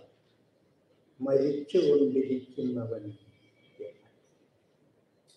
അതിനാണ് നാം മർക്കൻ ആ ഐഡന്റിറ്റിയോടുകൂടി ചിന്തിക്കുന്നവനെ മർക്കനെ രക്ഷിക്കാൻ സാധിക്കും. അതാണ് ബുദ്ധൻ ബുദ്ധൻ സമ്യക് വാക്ക് എന്ന് പറയും സമ്യക് വാക്ക് എന്ന് പറയുന്നതാണ് കവിത വാക്ക് സമ്യക് വാക്കാണ് ഈ പറയുന്ന വിശുദ്ധ സമ്യക് വാക്കാണ് വാസ്തവത്തിൽ എന്താ ഉണ്ടാകുന്നത്? സമ്യക് വാക്ക് എങ്ങനെ ഉണ്ടായി? മരണാവബോധത്തെ ഈ ബോധത്തെ തന്റെ മനസ്സാക്ഷിയുടെ ഭാഗമാക്കി തീർത്തപ്പോൾ ഉണ്ടായ അതിശയകരമായ പ്രഭാവമാണ്. അദ്ദേഹം ജന്മങ്ങളൊന്നുമില്ല. അടുത്ത ജന്മത്തിലോ ദൈവത്തിലോ ഒന്നും ബുദ്ധം വിശ്വസിക്കുന്നില്ല മറിച്ച് ഈ മരണം എന്ന് പറയുന്നതിനെ അതിജീവിച്ചത് മരണമുണ്ട്. മരണത്തെക്കുറിച്ച് കൃത്യമായി അറിഞ്ഞുകൊണ്ടാണ്. ഒളിച്ചു മാറിയിട്ടല്ല അതുകൊണ്ടാണ് ബാലാമണിയമ്മയുടെ വരി വല്ലാത്ത വരിയായി തീർന്നത് ആരുണ്ടും ഞാൻ അത് ഒരു ആടലല്ല അതൊരു തിരിച്ചറിവാണ്. നോക്കുക. മരണം. അതാണ് ഈ കരുണയും ദയയും തമ്മിലുള്ള വ്യത്യാസം എന്താണ് എന്ന് ചോദിച്ചാൽ മരണാവബോധമുള്ള ബുദ്ധന്റെ വാക്കാണ് കരുണ. ദയ ആകട്ടെ മരണാവബോധമില്ലാത്ത നമ്മൾ ഒരാളോട് കാണിക്കുന്ന. ആനുകൂല്യത്തിന്റെ പേരാണ് എന്താണ് കരുണ ബുദ്ധനോട് ചോദിക്കുന്നത് അപ്പോൾ ബുദ്ധൻ പറയും പണ്ട് മഹാസത്വൻ എന്ന് പറയുന്ന ഒരു രാജാവ് അദ്ദേഹത്തിന് മൂന്ന് മക്കൾ. അവർ ഉദ്യാനത്തിൽ ഇരിക്കുകയാണ് അങ്ങനെ ഉദ്യാനത്തിൽ ഇരിക്കുമ്പോൾ അവരിൽ മൂത്ത പുത്രൻ മൂന്ന് പേർ. മൂത്ത പുത്രൻ പറഞ്ഞു എന്തോ ആപത്ത് വരാൻ പോകുന്നു എന്ന് എനിക്ക് തോന്നുന്നു. എന്റെ ദേഹമാകെ രണ്ടാമത്തെ ആൾ പറഞ്ഞു നല്ലതാണോ ചീത്തയാണോ എന്ന് എനിക്ക് എന്തോ സംഭവിക്കാൻ മൂന്നാമത്തെ ആൾ പറഞ്ഞു എന്റെ ജീവിതത്തിൽ ഏറ്റവും സമ്പന്നമായ സമയം ഞാൻ വന്നു ചേർന്നിരിക്കുന്നു. എന്താണെന്ന് നോക്കട്ടെ എന്ന് പറഞ്ഞ് ചുറ്റുപാടിൽ ചെന്ന് നോക്കി മുളങ്കൂട്ടങ്ങൾക്കിടയിൽ ഒരു പുലി മരിച്ചുകൊണ്ടിരിക്കുകയാണ് അതിനെ അകട് പിടിച്ചുകൊണ്ട് അപ്പോൾ പ്രസവിച്ച നാല് കുട്ടികൾ അവരും മരിച്ചു അപ്പോൾ അയാൾ തിരികെ വന്നു. ഞാൻ എന്നെ ആ പുലിക്ക് കൊടുക്കാൻ പോവുകയാണ്. നിങ്ങൾ സമ്മതിക്കണമെന്ന് പറഞ്ഞ്. അവരുടെ സമ്മതം വാങ്ങി ആ പുലിയുടെ മുമ്പിൽ ചെന്ന് ഓടക്കീറ് മുറിച്ചെടുത്ത് അത് കണ്ട് കഴുത്ത് കണ്ടിച്ച് ഈ ആ പുലിക്ക് എണീറ്റ് വരാനൊന്നും വയ്യ അതിന്റെ മുഖത്തേക്ക് ഈ ചോര പുലി ചോര കുടിച്ച് കുടിച്ച് കുടിച്ച് മെല്ലെ മെല്ലെ ശക്തി സംഭവിച്ചു. ഉണർവോടെ വളരെ കാലമായി അത് എന്തെങ്കിലും കഴിച്ചു. ഉണർവോടെ എഴുന്നേറ്റ് ഇയാളെ ഭക്ഷിക്കുകയും അപ്പോൾ ബുദ്ധൻ ആനന്ദനോട് പറയുന്നു അത് ഞാനായിരുന്നു ആനന്ദ എന്തിനുള്ള ഉത്തരമായിട്ട്? എന്താണ് കരുണ എന്ന് ചോദിച്ചതിന്റെ അപ്പൊ അതാണ് ഇങ്ങനെ മരണാവബോധമാണ് അവിടെയൊക്കെയും പ്രവർത്തിക്കുന്നത്. മരണമില്ലാത്ത ഒരാൾക്ക് എന്ത് കാരുണ്യമാണ് കാണിക്കാൻ സാധ്യമായി ബുദ്ധൻ അതുകൊണ്ട് ബുദ്ധൻ ഈ മരണാവബോധം നേടുന്നു. ഹൈദകറൊക്കെ വളരെ ശക്തമായിട്ട് ബുദ്ധനിലൂടെ ഒന്നും അല്ല ഇത് പറയുന്നത്. അതുപോലെ മറ്റേ അസ്തിത്വത്തിന്റെ സാർത്ഥമൊന്നുമല്ലാത്ത വലിയ തത്വം എന്തെങ്കിലും ആ കീർക്കേഗാഡ് കീർക്കേഗാഡും ഇതേ ആശയം. അത് മരണാവബോധത്തിലൂടെ അല്ലാതെ നമുക്ക് മരണത്തെ അതിജീവിക്കാൻ സാധിക്കും മരണം ബോധമല്ലേ നമ്മുടെ പ്രവർത്തനത്തിൽ അത് പ്രകാശവത്തായിരിക്കും. അല്ലെങ്കിൽ ഇതൊരു ഒളിഞ്ഞു പാർക്കൽ മരണത്തിൽ നിന്ന് നമ്മൾ അത് നമ്മൾ കണ്ടുപിടിക്കുകയില്ല എന്ന് ഭയത്തോടെ ജനിച്ചുകൊണ്ടിരുന്നാൽ പോരാ. അതിന്റെ മുമ്പിൽ ധീരതയോടെ ജീവിക്കണം. അതിനെ നമ്മുടെ ചിന്തയുടെ അടിസ്ഥാനമായി നമ്മൾ സ്വീകരിക്കണം. നമ്മൾ പറഞ്ഞു വന്നത് എവിടെ നിങ്ങൾ വിശ്വത്തിന്റെ ഉദാഹരണം കണ്ടിരിക്കുന്നുവോ അവിടെ എല്ലാം തന്നെ മരണാവബോധമുള്ള ഒരാളെ കാണും അതാണ് ഈ ഹൈദരൊക്കെ പറയുന്നത് എവിടെ വിശുദ്ധം വിശുദ്ധം എന്ന് പറയുന്നത് അതുകൊണ്ടാണ്. ഈ ഹിസ്റ്ററിയേക്കാൾ എനിക്കിഷ്ടം ഐതിഹ്യമാണ് ശരിയൊന്നുമല്ല പക്ഷെ എന്താ ഐതിഹ്യത്തിനുള്ള ഒരു പ്രശ്നം? ഈ കാക്ക പറഞ്ഞ പമ്പരത്തിന്റെ കഥയാണ് ഐതിഹ്യത്തിന്റെ ശ്രീ ശങ്കരാചാര്യരെ കുറിച്ച് ഒരു ബയോഗ്രാഫി എഴുതപ്പെട്ടിരുന്നുവെങ്കിൽ ശ്രീ ശ്രീ ശങ്കരാചാര്യർ അതിലൂടെ വിവരിക്കപ്പെടുകയും എഴുത്തച്ഛനെ കുറിച്ച് ഒരു ബയോഗ്രഫി ഉണ്ടായിരുന്നുവെങ്കിൽ അത് എഴുത്തച്ഛനെ പ്രതിനിധീകരിക്കുന്നില്ല എന്തുകൊണ്ട് നിങ്ങൾ സ്ഥൂലമായി നിങ്ങളെ പ്രതിനിധീകരിക്കുന്നില്ല? ഇതാണ് ഹിസ്റ്ററിയിൽ രേഖപ്പെടുത്തപ്പെടുന്നത് പക്ഷേ മിത്തിലോ മിത്തിൽ ഈ പിടികൂടാനാകാത്ത ഈ പമ്പരത്തെ പിടികൂടുകയാണ് ഇപ്പോ ഈ ഉണ്ണായി വാരിനെ കുറിച്ചൊക്കെ പറയും ഇങ്ങനെ അദ്ദേഹം ഇങ്ങനെ പൂമാലയിൽ ഒരു ശ്ലോകം കെട്ടിയിരുന്നു. വാസ്തവത്തിൽ ഉണ്ണായി വാര്യരുടെ ജീവചരിത്രപരമായിട്ടുള്ള ഏത് വിവരണത്തെക്കാളും ഉണ്ണായി വാര്യരെ വിവരിക്കാൻ നല്ലത് ഇതാണ്. കാരണം എന്താണ്?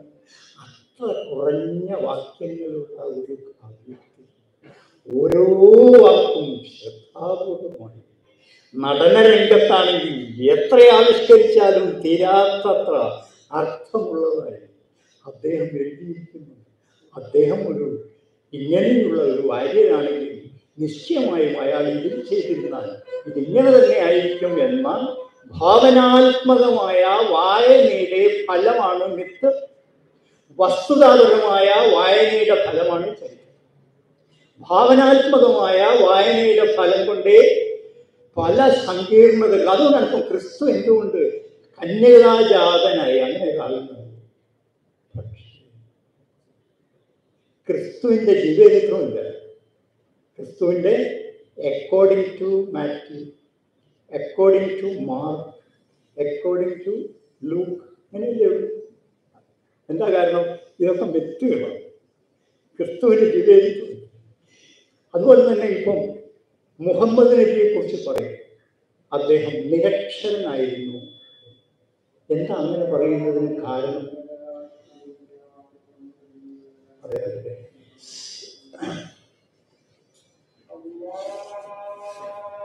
ഒരു വെള്ളം കുടിക്കട്ടെ അതിന്റെ അടുത്ത്.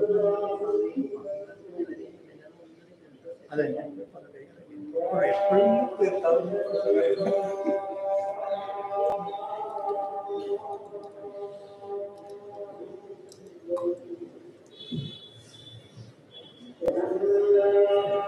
ഞാൻ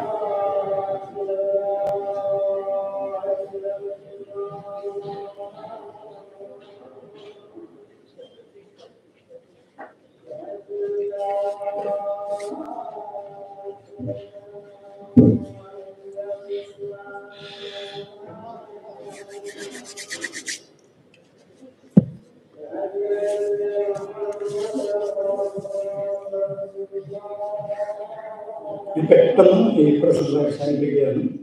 പിന്നെ അപ്പോൾ നേരത്തെ നമ്മൾ ലവീഷ് കോസിനെ കുറിച്ച് പറഞ്ഞ അതേ കാര്യമാണ് നബിയുടെ കാര്യത്തിൽ എന്താണ്? എഴുതിയതിനെ വായിക്കുകയാണ്. ഭാഷയിലുള്ളതേ കേൾക്കാനാണ്. നിങ്ങൾക്ക് കേൾവി ശക്തി ഉണ്ടായിട്ടൊരു കാര്യവുമില്ല മറ്റൊരു ഭാഷയിൽ പറഞ്ഞാൽ നിങ്ങൾ കേൾക്കില്ല. ഈ ഭാഷ നിങ്ങൾ ഇൻകോർപ്പറേറ്റ് ചെയ്തിട്ടുണ്ട് ഇതിനകത്ത്. അതുകൊണ്ട് മാത്രമാണ് നിങ്ങൾ കേൾക്കുന്നത്. ഭാഷയോടെ നിങ്ങൾക്ക് പറ്റും അതുകൊണ്ട് സാക്ഷരൻ അക്ഷരങ്ങളോളമേ അതുകൊണ്ടാണ് നിരക്ഷരൻ ഇതിന് യോഗ്യനാകുന്നത്. ഇനി ഒറ്റ കാര്യം കൂടിയേ പറയാനുള്ളൂ. ബന്ധിപ്പിച്ച് ഒരുപാട് പറയേണ്ടതായിരുന്നു നേരമില്ലാത്തതുകൊണ്ടാണ്. ഇൻഫിനിറ്റും ഫൈൻഫിനിറ്റ് പ്ലേ എന്നും ഫൈനൈറ്റ് പ്ലേ എന്നും രണ്ട് പ്ലേ ലോകത്ത് നമ്മളൊക്കെ കളിച്ചുകൊണ്ടിരിക്കുന്നത് ഫൈനൈറ്റ് പ്ലേ അച്ഛനായിട്ടും അമ്മയായിട്ടും വിദ്യാർത്ഥിയായിട്ടും രാഷ്ട്രീയക്കാരനായിട്ടും എല്ലാം കളിച്ചുകൊണ്ടിരിക്കുകയാണ്. ഇതൊന്നും ആത്യന്തികമല്ല. ജസ്റ്റ് പ്ലേ പക്ഷേ ഫൈനൈറ്റ് പ്ലെയർക്ക് അത് അറിഞ്ഞുകൂടാ ആർക്കറിയാം അയാൾ ഇൻഫിനിറ്റ് പ്ലെയർ എന്ന് പറയും. അയാൾക്കുള്ള വ്യത്യാസം ഇത് മാത്രമാണ്. പ്ലേ ആണ് എന്ന് ഈ പ്ലേ ആണ് എന്നറിയാവുന്ന ഒരാളുടെ വാക്കിൽ വിശ്വമുണ്ട് ഈ പ്ലേ ആണ് ഇൻഫിനിറ്റ് പ്ലേ ആണ് ഇങ്ങനെ തുടർന്ന് വരികയാണ്. നമ്മളിങ്ങനെ പല വേഷങ്ങളിൽ ഇങ്ങനെ കെട്ടിയാക്കുകയാണ്. ആ ബോധ്യം നമുക്കില്ല.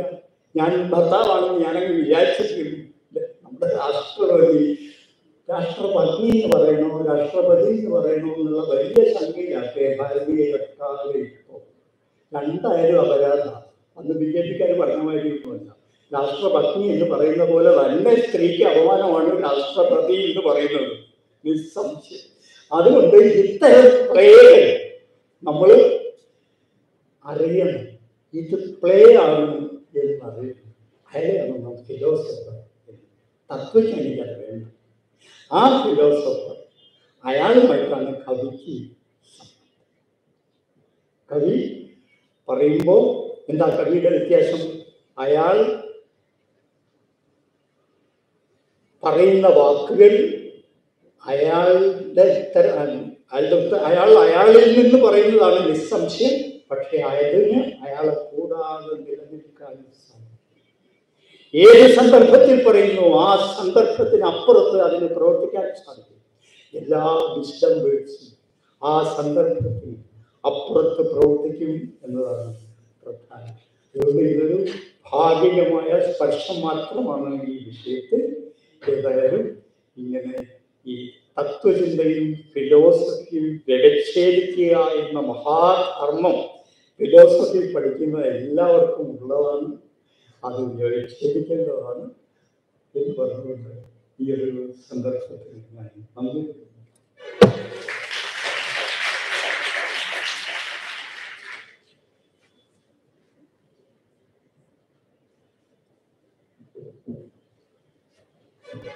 വളരെ അർത്ഥപൂർണവും നമുക്ക് ഒരുപാട് ചിന്തിക്കാൻ എനിക്ക് തോന്നുന്നത് ദർശനത്തെ കുറെ പ്രായോഗികമായി അദ്ദേഹം കണ്ടു എന്നാണ് ഈ ഒരു പ്രഭാഷണത്തിൽ നിന്ന് എനിക്ക് തോന്നിയത്. അപ്പോൾ ഇതുമായിട്ട് ബന്ധപ്പെട്ട് നമ്മുടെ സമയം അതായത് അടുത്ത സെഷൻ ഒന്നരയ്ക്ക് ആരംഭിക്കേണ്ടതുണ്ട്. സമയം വളരെ പരിമിതമാണ്. ഇതുവരെ ബന്ധപ്പെട്ട സംശയങ്ങളുണ്ടെങ്കിൽ ഇപ്പോൾ ചോദിക്കാം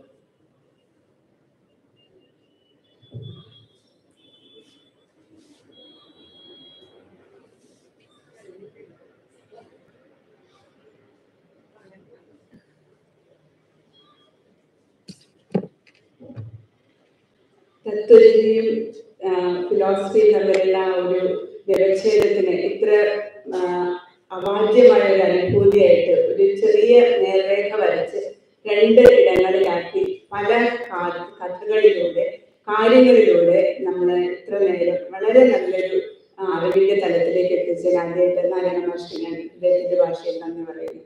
ഇതിൽ ഇപ്പൊ ഒരുപാട് ഫിലോസഫേഴ്സ് ഹൈഡഗർ ആയാലും ലിസ്റ്റോസ് ആയാലും കിർക്കേഗാർഡ് ഒരു ഒരു നിര തന്നെ സാറിന്റെ പ്രഭാഷണത്തിൽ വന്നു കഴിഞ്ഞു ബുദ്ധനെ കുറിച്ചൊക്കെ. അപ്പൊ ഇതിനകത്ത് നമ്മൾ ഒരു ഘട്ടത്തിൽ ഭാഷയുടെ ഭാഷാ പൂർവതയെ കുറിച്ച് പറഞ്ഞു പിന്നെ ഭാഷാനന്തരത്തെ കുറിച്ച് പറഞ്ഞു അതിനിടയിൽ വളരെ വിശദത്തോട് കൂടിയിട്ട് പറഞ്ഞ ഒരു വാക്ക് സാക്ഷരതല്ല സാക്ഷര അക്ഷരത്തിന്റെ ഉള്ളിൽ കുടുങ്ങി കിടക്കുമ്പോൾ നിരക്ഷരൻ അതുക്കും മേലെ എന്നാണ് നമുക്ക് ഏറ്റവും കോമൺ ആയിട്ട് മനസ്സിലാവുന്നത്. അതുക്കും മേലെ നിൽക്കുന്ന അത്ര മനോഹരമായ ഒരു തത്വചിന്തയിലേക്ക് അത് കൊണ്ടുവരുമ്പോൾ ഇപ്പൊ എനിക്ക് പറയാനുള്ളത് ഇപ്പൊ പതിനാറാം നൂറ്റാണ്ട് മുതലേ ഡെക്കാട്ടൊക്കെ കൊജിറ്റോ എർഗോസ് ആണ് പറയുന്നത്. I think therefore I exist ഞാൻ ചിന്തിക്കുന്നു അതുകൊണ്ട് ഞാൻ നിൽക്കുന്നു. എന്റെ ചിന്തകൾക്ക് അപ്പുറത്തുള്ള ഒന്നും എന്റെ ചിന്തയിലേക്ക് എത്തുന്നില്ല. അതുകൊണ്ട് അതവിടെ ഉണ്ടോ ഇല്ലയോ എന്നുള്ളത് എന്റെ വിഷയവുമല്ല അത് ഞാൻ ഉണ്ട് എന്ന് ഞാൻ ചിന്തിക്കുന്നതുകൊണ്ട് മാത്രം ഞാൻ നിലനിൽക്കുന്നു എന്നുള്ളതിൽ നിന്നും അപ്പുറത്തേക്ക് ഈ പറഞ്ഞ സഹാനുഭൂതിയുടെയും അല്ലെ കരുണയുടെയും അല്ലെങ്കിൽ മർത്യൻ എന്നുള്ള വാക്കിലേക്ക് എത്തിയിട്ട് ഒരു ഹാൻഡ് പുറത്തേക്ക് നീട്ടി കൊടുക്കുമ്പോഴാണ്. അല്ലെങ്കിൽ ഇന്ന് വന്ന് നാളെ നശ്വരമാകുന്ന നമ്മുടെ ജീവിതത്തിൽ ആർക്കൊക്കെ ഒപ്പമാണ് നമ്മൾ കൂടെ നിൽക്കേണ്ടത്? അവർക്കൊക്കെ ഒരു ഒരു തണലായി താങ്ങായി ഈ തത്വചിന്ത എന്ന് പറയുന്നത് മാറി വിസ്ഡം അപ്പൊ എനിക്ക് തോന്നുന്നത് മലയാളത്തിൽ നമ്മൾ പരിചിതമായിട്ടുള്ള പദങ്ങളിൽ പല പദങ്ങളും മനുഷ്യ പറഞ്ഞു അതൊന്നും അല്ല എന്ന് പറഞ്ഞു. എനിക്കൊന്ന് കുറച്ചും കൂടെ അതിനോട് ചേർന്ന് പോകാനുള്ളത് തിരിച്ചറിവ് എന്നുള്ളതാണ് തിരിച്ച് അറിവ് എന്നുള്ള നോളജിനെ നമ്മൾ ഏത് നിമിഷമാണ് തിരിച്ച് അല്ലെങ്കിൽ ഇതാണ് അത് എന്ന് തിരിച്ചറിയുന്ന ഒരു നിമിഷമുണ്ട്. അതാണ് ഈ മന- മനുഷ്യൻ മത്യനാവുന്ന നിമിഷം. ബുദ്ധൻ ബോധോദയം ഉണ്ടാവുന്ന നിമിഷം ആ നിമിഷത്തിനെയാണ് ആ ഒരു അതാണ് ഫിലോസഫിയുടെ ഒരു ക്രക്സ് എന്നാണ് എനിക്ക് തോന്നുന്നത്. അപ്പൊ ഇപ്പൊ അനലിറ്റിക് ഫിലോസഫിയിലും മറ്റു കാര്യങ്ങളിലും ഒക്കെ നമ്മൾ വരുമ്പോൾ മെറ്റാഫിസിക്കൽ കൺസെപ്റ്റ്സിനെ മുഴുവൻ എടുത്തു കളയാണ്. ഇരുപതാം നൂറ്റാണ്ടായപ്പോഴത്തെ ഫിലോസഫിയിൽ ഫ്രെഗെ വിഗൻസ്റ്റൈൻ ഒക്കെ റോട്ടി ക്രിപ്കെ ഒക്കെ വരുമ്പോൾ ഈ പറഞ്ഞ മെറ്റാഫിസിക്കൽ കൺസെപ്റ്റ്സ് കളകളെ മുഴുവൻ എടുത്ത് കളയാനാണ് പറഞ്ഞത്. ഈ കളകൾ എന്താണ്? ഈ പറഞ്ഞ മാഷ് പറഞ്ഞ ഐതിഹ്യത്തിൽ ഈ ചലനങ്ങളാണ് പമ്പരത്തിന്റെ ചലനങ്ങളാണ്. അതിനെ കൊണ്ട് നമ്മൾ പിടിച്ചെടുക്കുകയാണ്.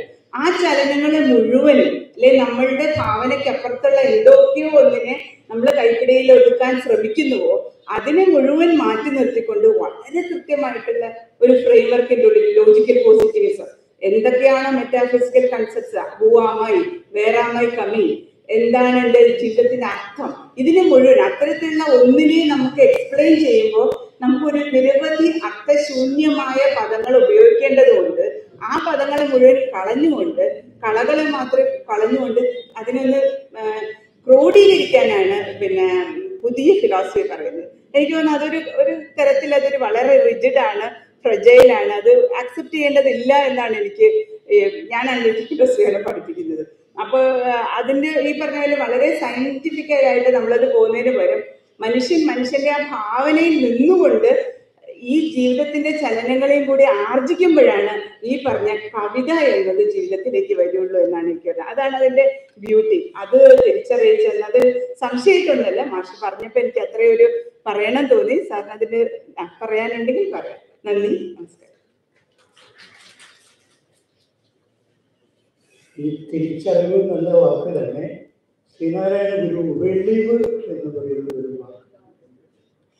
ഈ വെള്ളിവ് എന്തുകൊണ്ടാണ് ഇഷ്ടത്തിന് പകരം നമ്മൾ ഉപയോഗിക്കാതിരുന്നത് എങ്കിൽ ഒരാൾ പറഞ്ഞതുകൊണ്ട് അത് ഭാഷയാകുന്നില്ല അനേകം പേർ പറഞ്ഞിരുന്നെങ്കിൽ ഈ വെളിവ് അതിന് വെളിച്ചമായിട്ട് ബന്ധമുണ്ട് അത് വെളിവിന്റെ സൂചനകളുള്ള ഒരുപാട് വെളിച്ചപ്പാട് ഒരുപാട് വാക്കുകളുമായിട്ട് സംബന്ധമുള്ളതാണ് അത് ഉപയോഗിച്ചില്ല എന്നതുകൊണ്ടാണ് അത് അപര്യാപ്തമായിട്ട് തോന്നുന്നത്.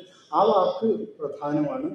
പിന്നെ പോയട്രിയെ കുറിച്ച് പിന്നെ ശർമ്മശാസ്ത്രി ശർമ്മിള. ശർമ്മിള പറഞ്ഞത് വളരെ രസമുള്ള ഒരു കാര്യമാണ്. ഞാൻ ഒറ്റ വാക്യം മാത്രമേ പറയുള്ളൂ എ ഗ്രേറ്റ് ടൈലർ കട്ട്സ് എല്ലാം ഉപയോഗിക്കുക.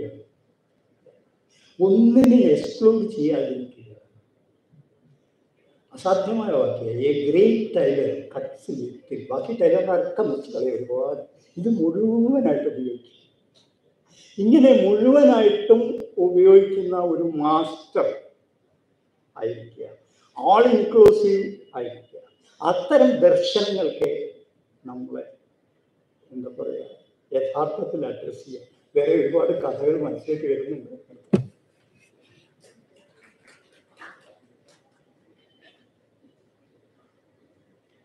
സാറ് കുറച്ച് സമയം നമ്മുടെ നല്ല രീതിയിൽ ഒരു ഇൻഡ്യൂഷനിലേക്ക് നല്ലൊരു അനുഭൂതിയിലേക്ക് ജീവിതത്തിന്റെ ഒരു നൈമിഷികമായ അവസ്ഥയിലേക്ക് നമ്മളെ എല്ലാവരും കൊണ്ടുപോയി എന്ന് തോന്നുന്നു. കാരണം മരണം എന്നുള്ള ആ പരമമായ സത്യത്തെ വെളിപ്പെടുത്തുന്നതോടൊപ്പം തന്നെ മതമാത്സര്യം എന്തിന് മനുഷ്യന്? എന്തുകൂടി നമുക്ക് ഒരു അവബോധം ജനിപ്പിച്ചു? ശരിയാണ്. ലോകത്തിന് മുഴുവനും മാത്സര്യം മതം എന്നുള്ളതിനെ പറ്റി ഒരു എന്ന് നമ്മുടെ ഇവിടെ കോൺഫ്ലിക്റ്റ് നടക്കുന്നത് അതിനെ ചൊല്ലി തന്നെയാണ്.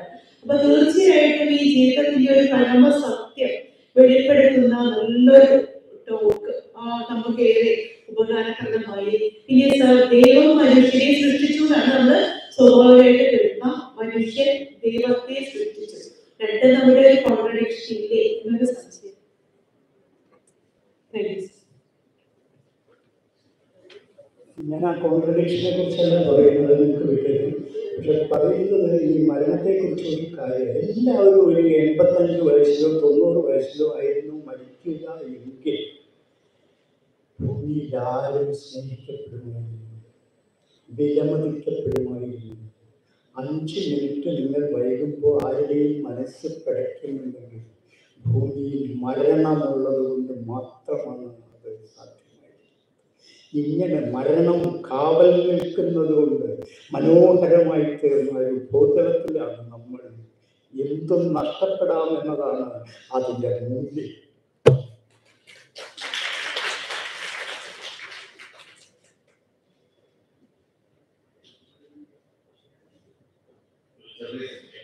ഈ മരണാവബോധം എന്നൊരു വിവേകം പതുക്കെ വന്നാൽ മതി എന്നാണ് സാറ് പറയുന്നത് പലപ്പോഴും ആ വിവേകം വരുമ്പോ നമ്മൾ പമ്പരം പോലെ നിശ്ചലമായി തീരില്ലേ നമ്മൾ നിസ്സംഗമായി തീരില്ലേ എന്നൊരു വേവലാതി വർത്തമാനകാലത്ത് ഉണ്ടാവും നമ്മളൊക്കെ ബുദ്ധമായ പ്രശ്നമല്ലേ അത് ഈ മരണാവബോധം ഇല്ലാത്തതുകൊണ്ടാണ്. മരണം വരുമ്പോൾ നാം നടുങ്ങി പോകുന്നത്. ഈ നടുക്കത്തിൽ നിന്ന് നിങ്ങളെ എങ്ങനെ രക്ഷിക്കണം എന്നാണ് സിദ്ധാർത്ഥൻ ആലോചിച്ചത്. അതിന് പരിഹാരം കിട്ടിയപ്പോഴാണ് അയാൾ ബുദ്ധനായി തീർന്നത്. ഇങ്ങനെ നടുങ്ങുന്നു ഇങ്ങനെ ഭയപ്പെടും ആർക്കാ മരണഭയമില്ലാത്തത്? നമ്മൾ എല്ലാവർക്കും മരണഭയമുണ്ട്. ജീവജാലങ്ങൾക്കില്ല അത് അതിൽ നിന്ന് നീക്കം ചെയ്യപ്പെട്ടിരിക്കുന്നു. രഹസ്യമായി വെച്ചിരിക്കുന്നു ദൈവം. കരുണയോടെ വെച്ചിരിക്കുന്നു ദൈവം. പക്ഷേ അങ്ങനെ സങ്കല്പിക്കാമെങ്കിൽ മനുഷ്യൻ അത് ചെയ്തിട്ടില്ല. പക്ഷെ മനുഷ്യൻ എന്ത് കൊടുത്തു? മറവി കൊടുത്തു അതിന് പ്രായച്ചു ഈ മറവി നമ്മളെ ഭരിച്ചുകൊണ്ട് ഒരു നിമിഷം. എത്ര പെട്ടെന്നാണ് നോക്കിക്കൊള്ളൂ ഒരു മരണ വീട്ടിൽ എത്ര പെട്ടെന്നാണ് അവനവന്റെ ഉത്തരവാദിത്വങ്ങളെ കുറിച്ച് ബാക്കിയുള്ളവർ ആലോചിക്കുക. തിരിച്ചു പോവുക ഞാൻ മരണ വീട്ടിനെ കുറിച്ച് മാത്രം ഒരു നോവൽ എഴുതിയിട്ടുണ്ട്. ഇത്ര മാത്രം. ഇപ്പൊ ഇങ്ങനെ ഈ മരണ വീട്ടിൽ എല്ലാവരും അതെ അതിന് എത്ര ഒരു അപകടം കണ്ടാവും അപ്പാടി നടുങ്ങി പോകുന്നുണ്ട് അടുത്ത നിമിഷം നമ്മൾ ഈ മറവില്ലായിരുന്നെങ്കിൽ അപ്പൊ ഒന്നുകിൽ ബോധമാണ് നമ്മളെ രക്ഷിച്ചത്. അതാണ് ബുദ്ധം പറയുന്നത്. നമ്മളിപ്പോൾ രക്ഷിച്ചുകൊണ്ടിരിക്കുന്നത് മറവി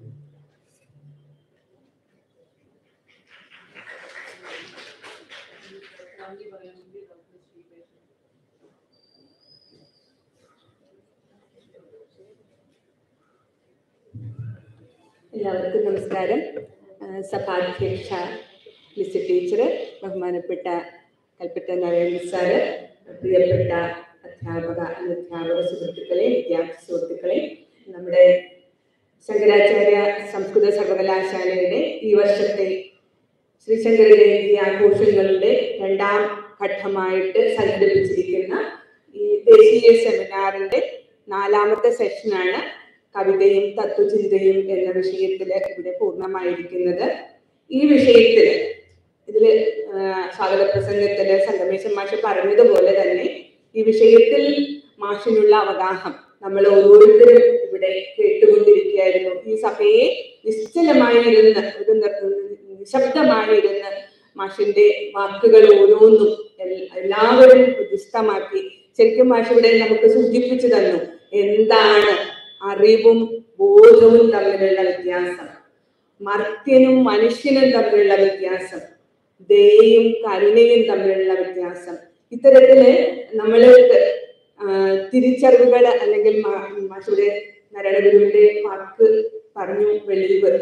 ഈ വെളിവ് നമ്മൾക്ക് ഉണ്ടായി വരേണ്ടതിന്റെ ആവശ്യകത. നമ്മൾ വീണ്ടും വീണ്ടും തിരിച്ചറിഞ്ഞുകൊണ്ടിരിക്കുന്ന ഒരു തലത്തിലേക്ക് നമ്മളെ കൂട്ടിക്കൊണ്ടുപോകാൻ ആദരണീയനായ കൽപ്പറ്റ നാരായണൻ സാറിന് സാധിച്ചു. ശരിക്കും സർവകലാശാല വിദ്യാർത്ഥികളും ഗവേഷകരും അധ്യാപക അനധ്യാപകരും അതുപോലെ അറിവിനെ സ്നേഹിക്കുന്നവരും ഉൾപ്പെടുന്ന ഒരു സമൂഹത്തിന് പകർന്നു നൽകുന്ന വിജ്ഞാന വിരുന്ന് തന്നെയാണ് ഇത്തരത്തിലുള്ള സെമിനാറുകൾ ശരിക്കും നമ്മുടെ നമ്മുടെ സംഘടനയുടെ ഭാഗമായിട്ട് ഭാരതീയ ഭൗതിക പാരമ്പര്യത്തെ കുറിച്ച് ഇവിടെ സംഘടിപ്പിച്ചിട്ടുള്ള സെമിനാറിന്റെ എല്ലാ സെഷനുകളും ഇത്തരത്തിൽ നമ്മൾക്ക് പുതിയ പുതിയ അറിവുകൾ പുതിയ പുതിയ ചിന്തകൾ പകർന്നു തരുന്നതിൽ അങ്ങേയറ്റം വിജയിച്ചിരിക്കുന്നു. ശരിക്കും അതിന്റെ സംഘാടകരോടും ഒക്കെ ഞങ്ങൾ അതിന് കടപ്പെട്ടിരിക്കുന്നു. എന്റെ കർത്തവ്യത്തിലേക്ക് കടക്കുന്നു. ഇന്നത്തെ ഈ കവിതയും തത്വചിന്തയും എന്ന ഈ സെഷനിൽ അധ്യക്ഷത വഹിച്ചത് പ്രിയപ്പെട്ട മലയാള വിഭാഗം മേധാവിയും പ്രൊഫസറുമായിട്ടുള്ള ലിസി ടീച്ചറാണ്. ടീച്ചർ ഇവിടെ പറഞ്ഞു മാമൂലി സാഹിത്യത്തിലും വരമൊഴി സാഹിത്യത്തിലും ഒക്കെ എങ്ങനെയാണ് കവിതയും തത്വചിന്തയും ഒക്കെ ഇഴചേർന്ന് കിടക്കുന്നതെന്ന്. വളരെ നല്ലൊരു അനുഭവ അമുഖത്തോടു കൂടി ഈ സെഷന് അധ്യക്ഷം വഹിച്ച ലിസി ടീച്ചർക്ക് ഈ ശങ്കര ജയന്തി ആഘോഷങ്ങളുടെ ഭാഗമായിട്ട് സംഘടിപ്പിച്ചിരിക്കുന്ന ഈ സെമിനാറിന്റെ പേരിലും അതുപോലെ തന്നെ നമ്മുടെ ഇവിടെ ഓരോ സന്നിഹിതരായിരിക്കുന്ന ഓരോരുത്തരുടെയും പേരിലും ഹൃദയം നിറഞ്ഞ നന്ദി രേഖപ്പെടുത്തുന്നു. നന്ദി ടീച്ചർ. വാക്കുകളെ കൊണ്ട് പ്രകടിപ്പിക്കാൻ കഴിയുന്നതല്ല മാഷ് വളരെ ചെറിയ സമയത്തിനുള്ളിൽ ലോക സാഹിത്യത്തിലെ മിക്കവാറും ഗ്രന്ഥങ്ങളെയും ഗ്രന്ഥകാരന്മാരെയും മാഷിന്റെ തന്നെ ശൈലിയിൽ നമ്മളെ പരിചയപ്പെടുത്തി നമ്മളെ കൂടുതൽ കൂടുതൽ ചിന്തിക്കാനായിട്ട് പ്രചോദനം നൽകിയ നാരായണൻ മാഷിന് ഹൃദയത്തിന്റെ ഭാഷയിൽ നന്ദി പറയുന്നു. അതോടൊപ്പം ഇവിടെ ഈ സെഷനിൽ വളരെ ശ്രദ്ധയോടുകൂടി പങ്കെടുക്കുകയും ഇതിൽ ചോദ്യങ്ങൾ ചോദിച്ച് ഇതിനെ കൂടുതൽ സമ്പുഷ്ടമാക്കുകയും ചെയ്ത ശർമിള ടീച്ചർ ഭവാനി ടീച്ചർ ഏഹ്, കേൾവിക്കാരായിരുന്ന എല്ലാ അധ്യാപക അധ്യാപക സുഹൃത്തുക്കൾ വിദ്യാർത്ഥി സുഹൃത്തുക്കൾ മറ്റുള്ളവരെല്ലാവർക്കും നന്ദി രേഖപ്പെടുത്തുന്നു. നന്ദി നമസ്കാരം.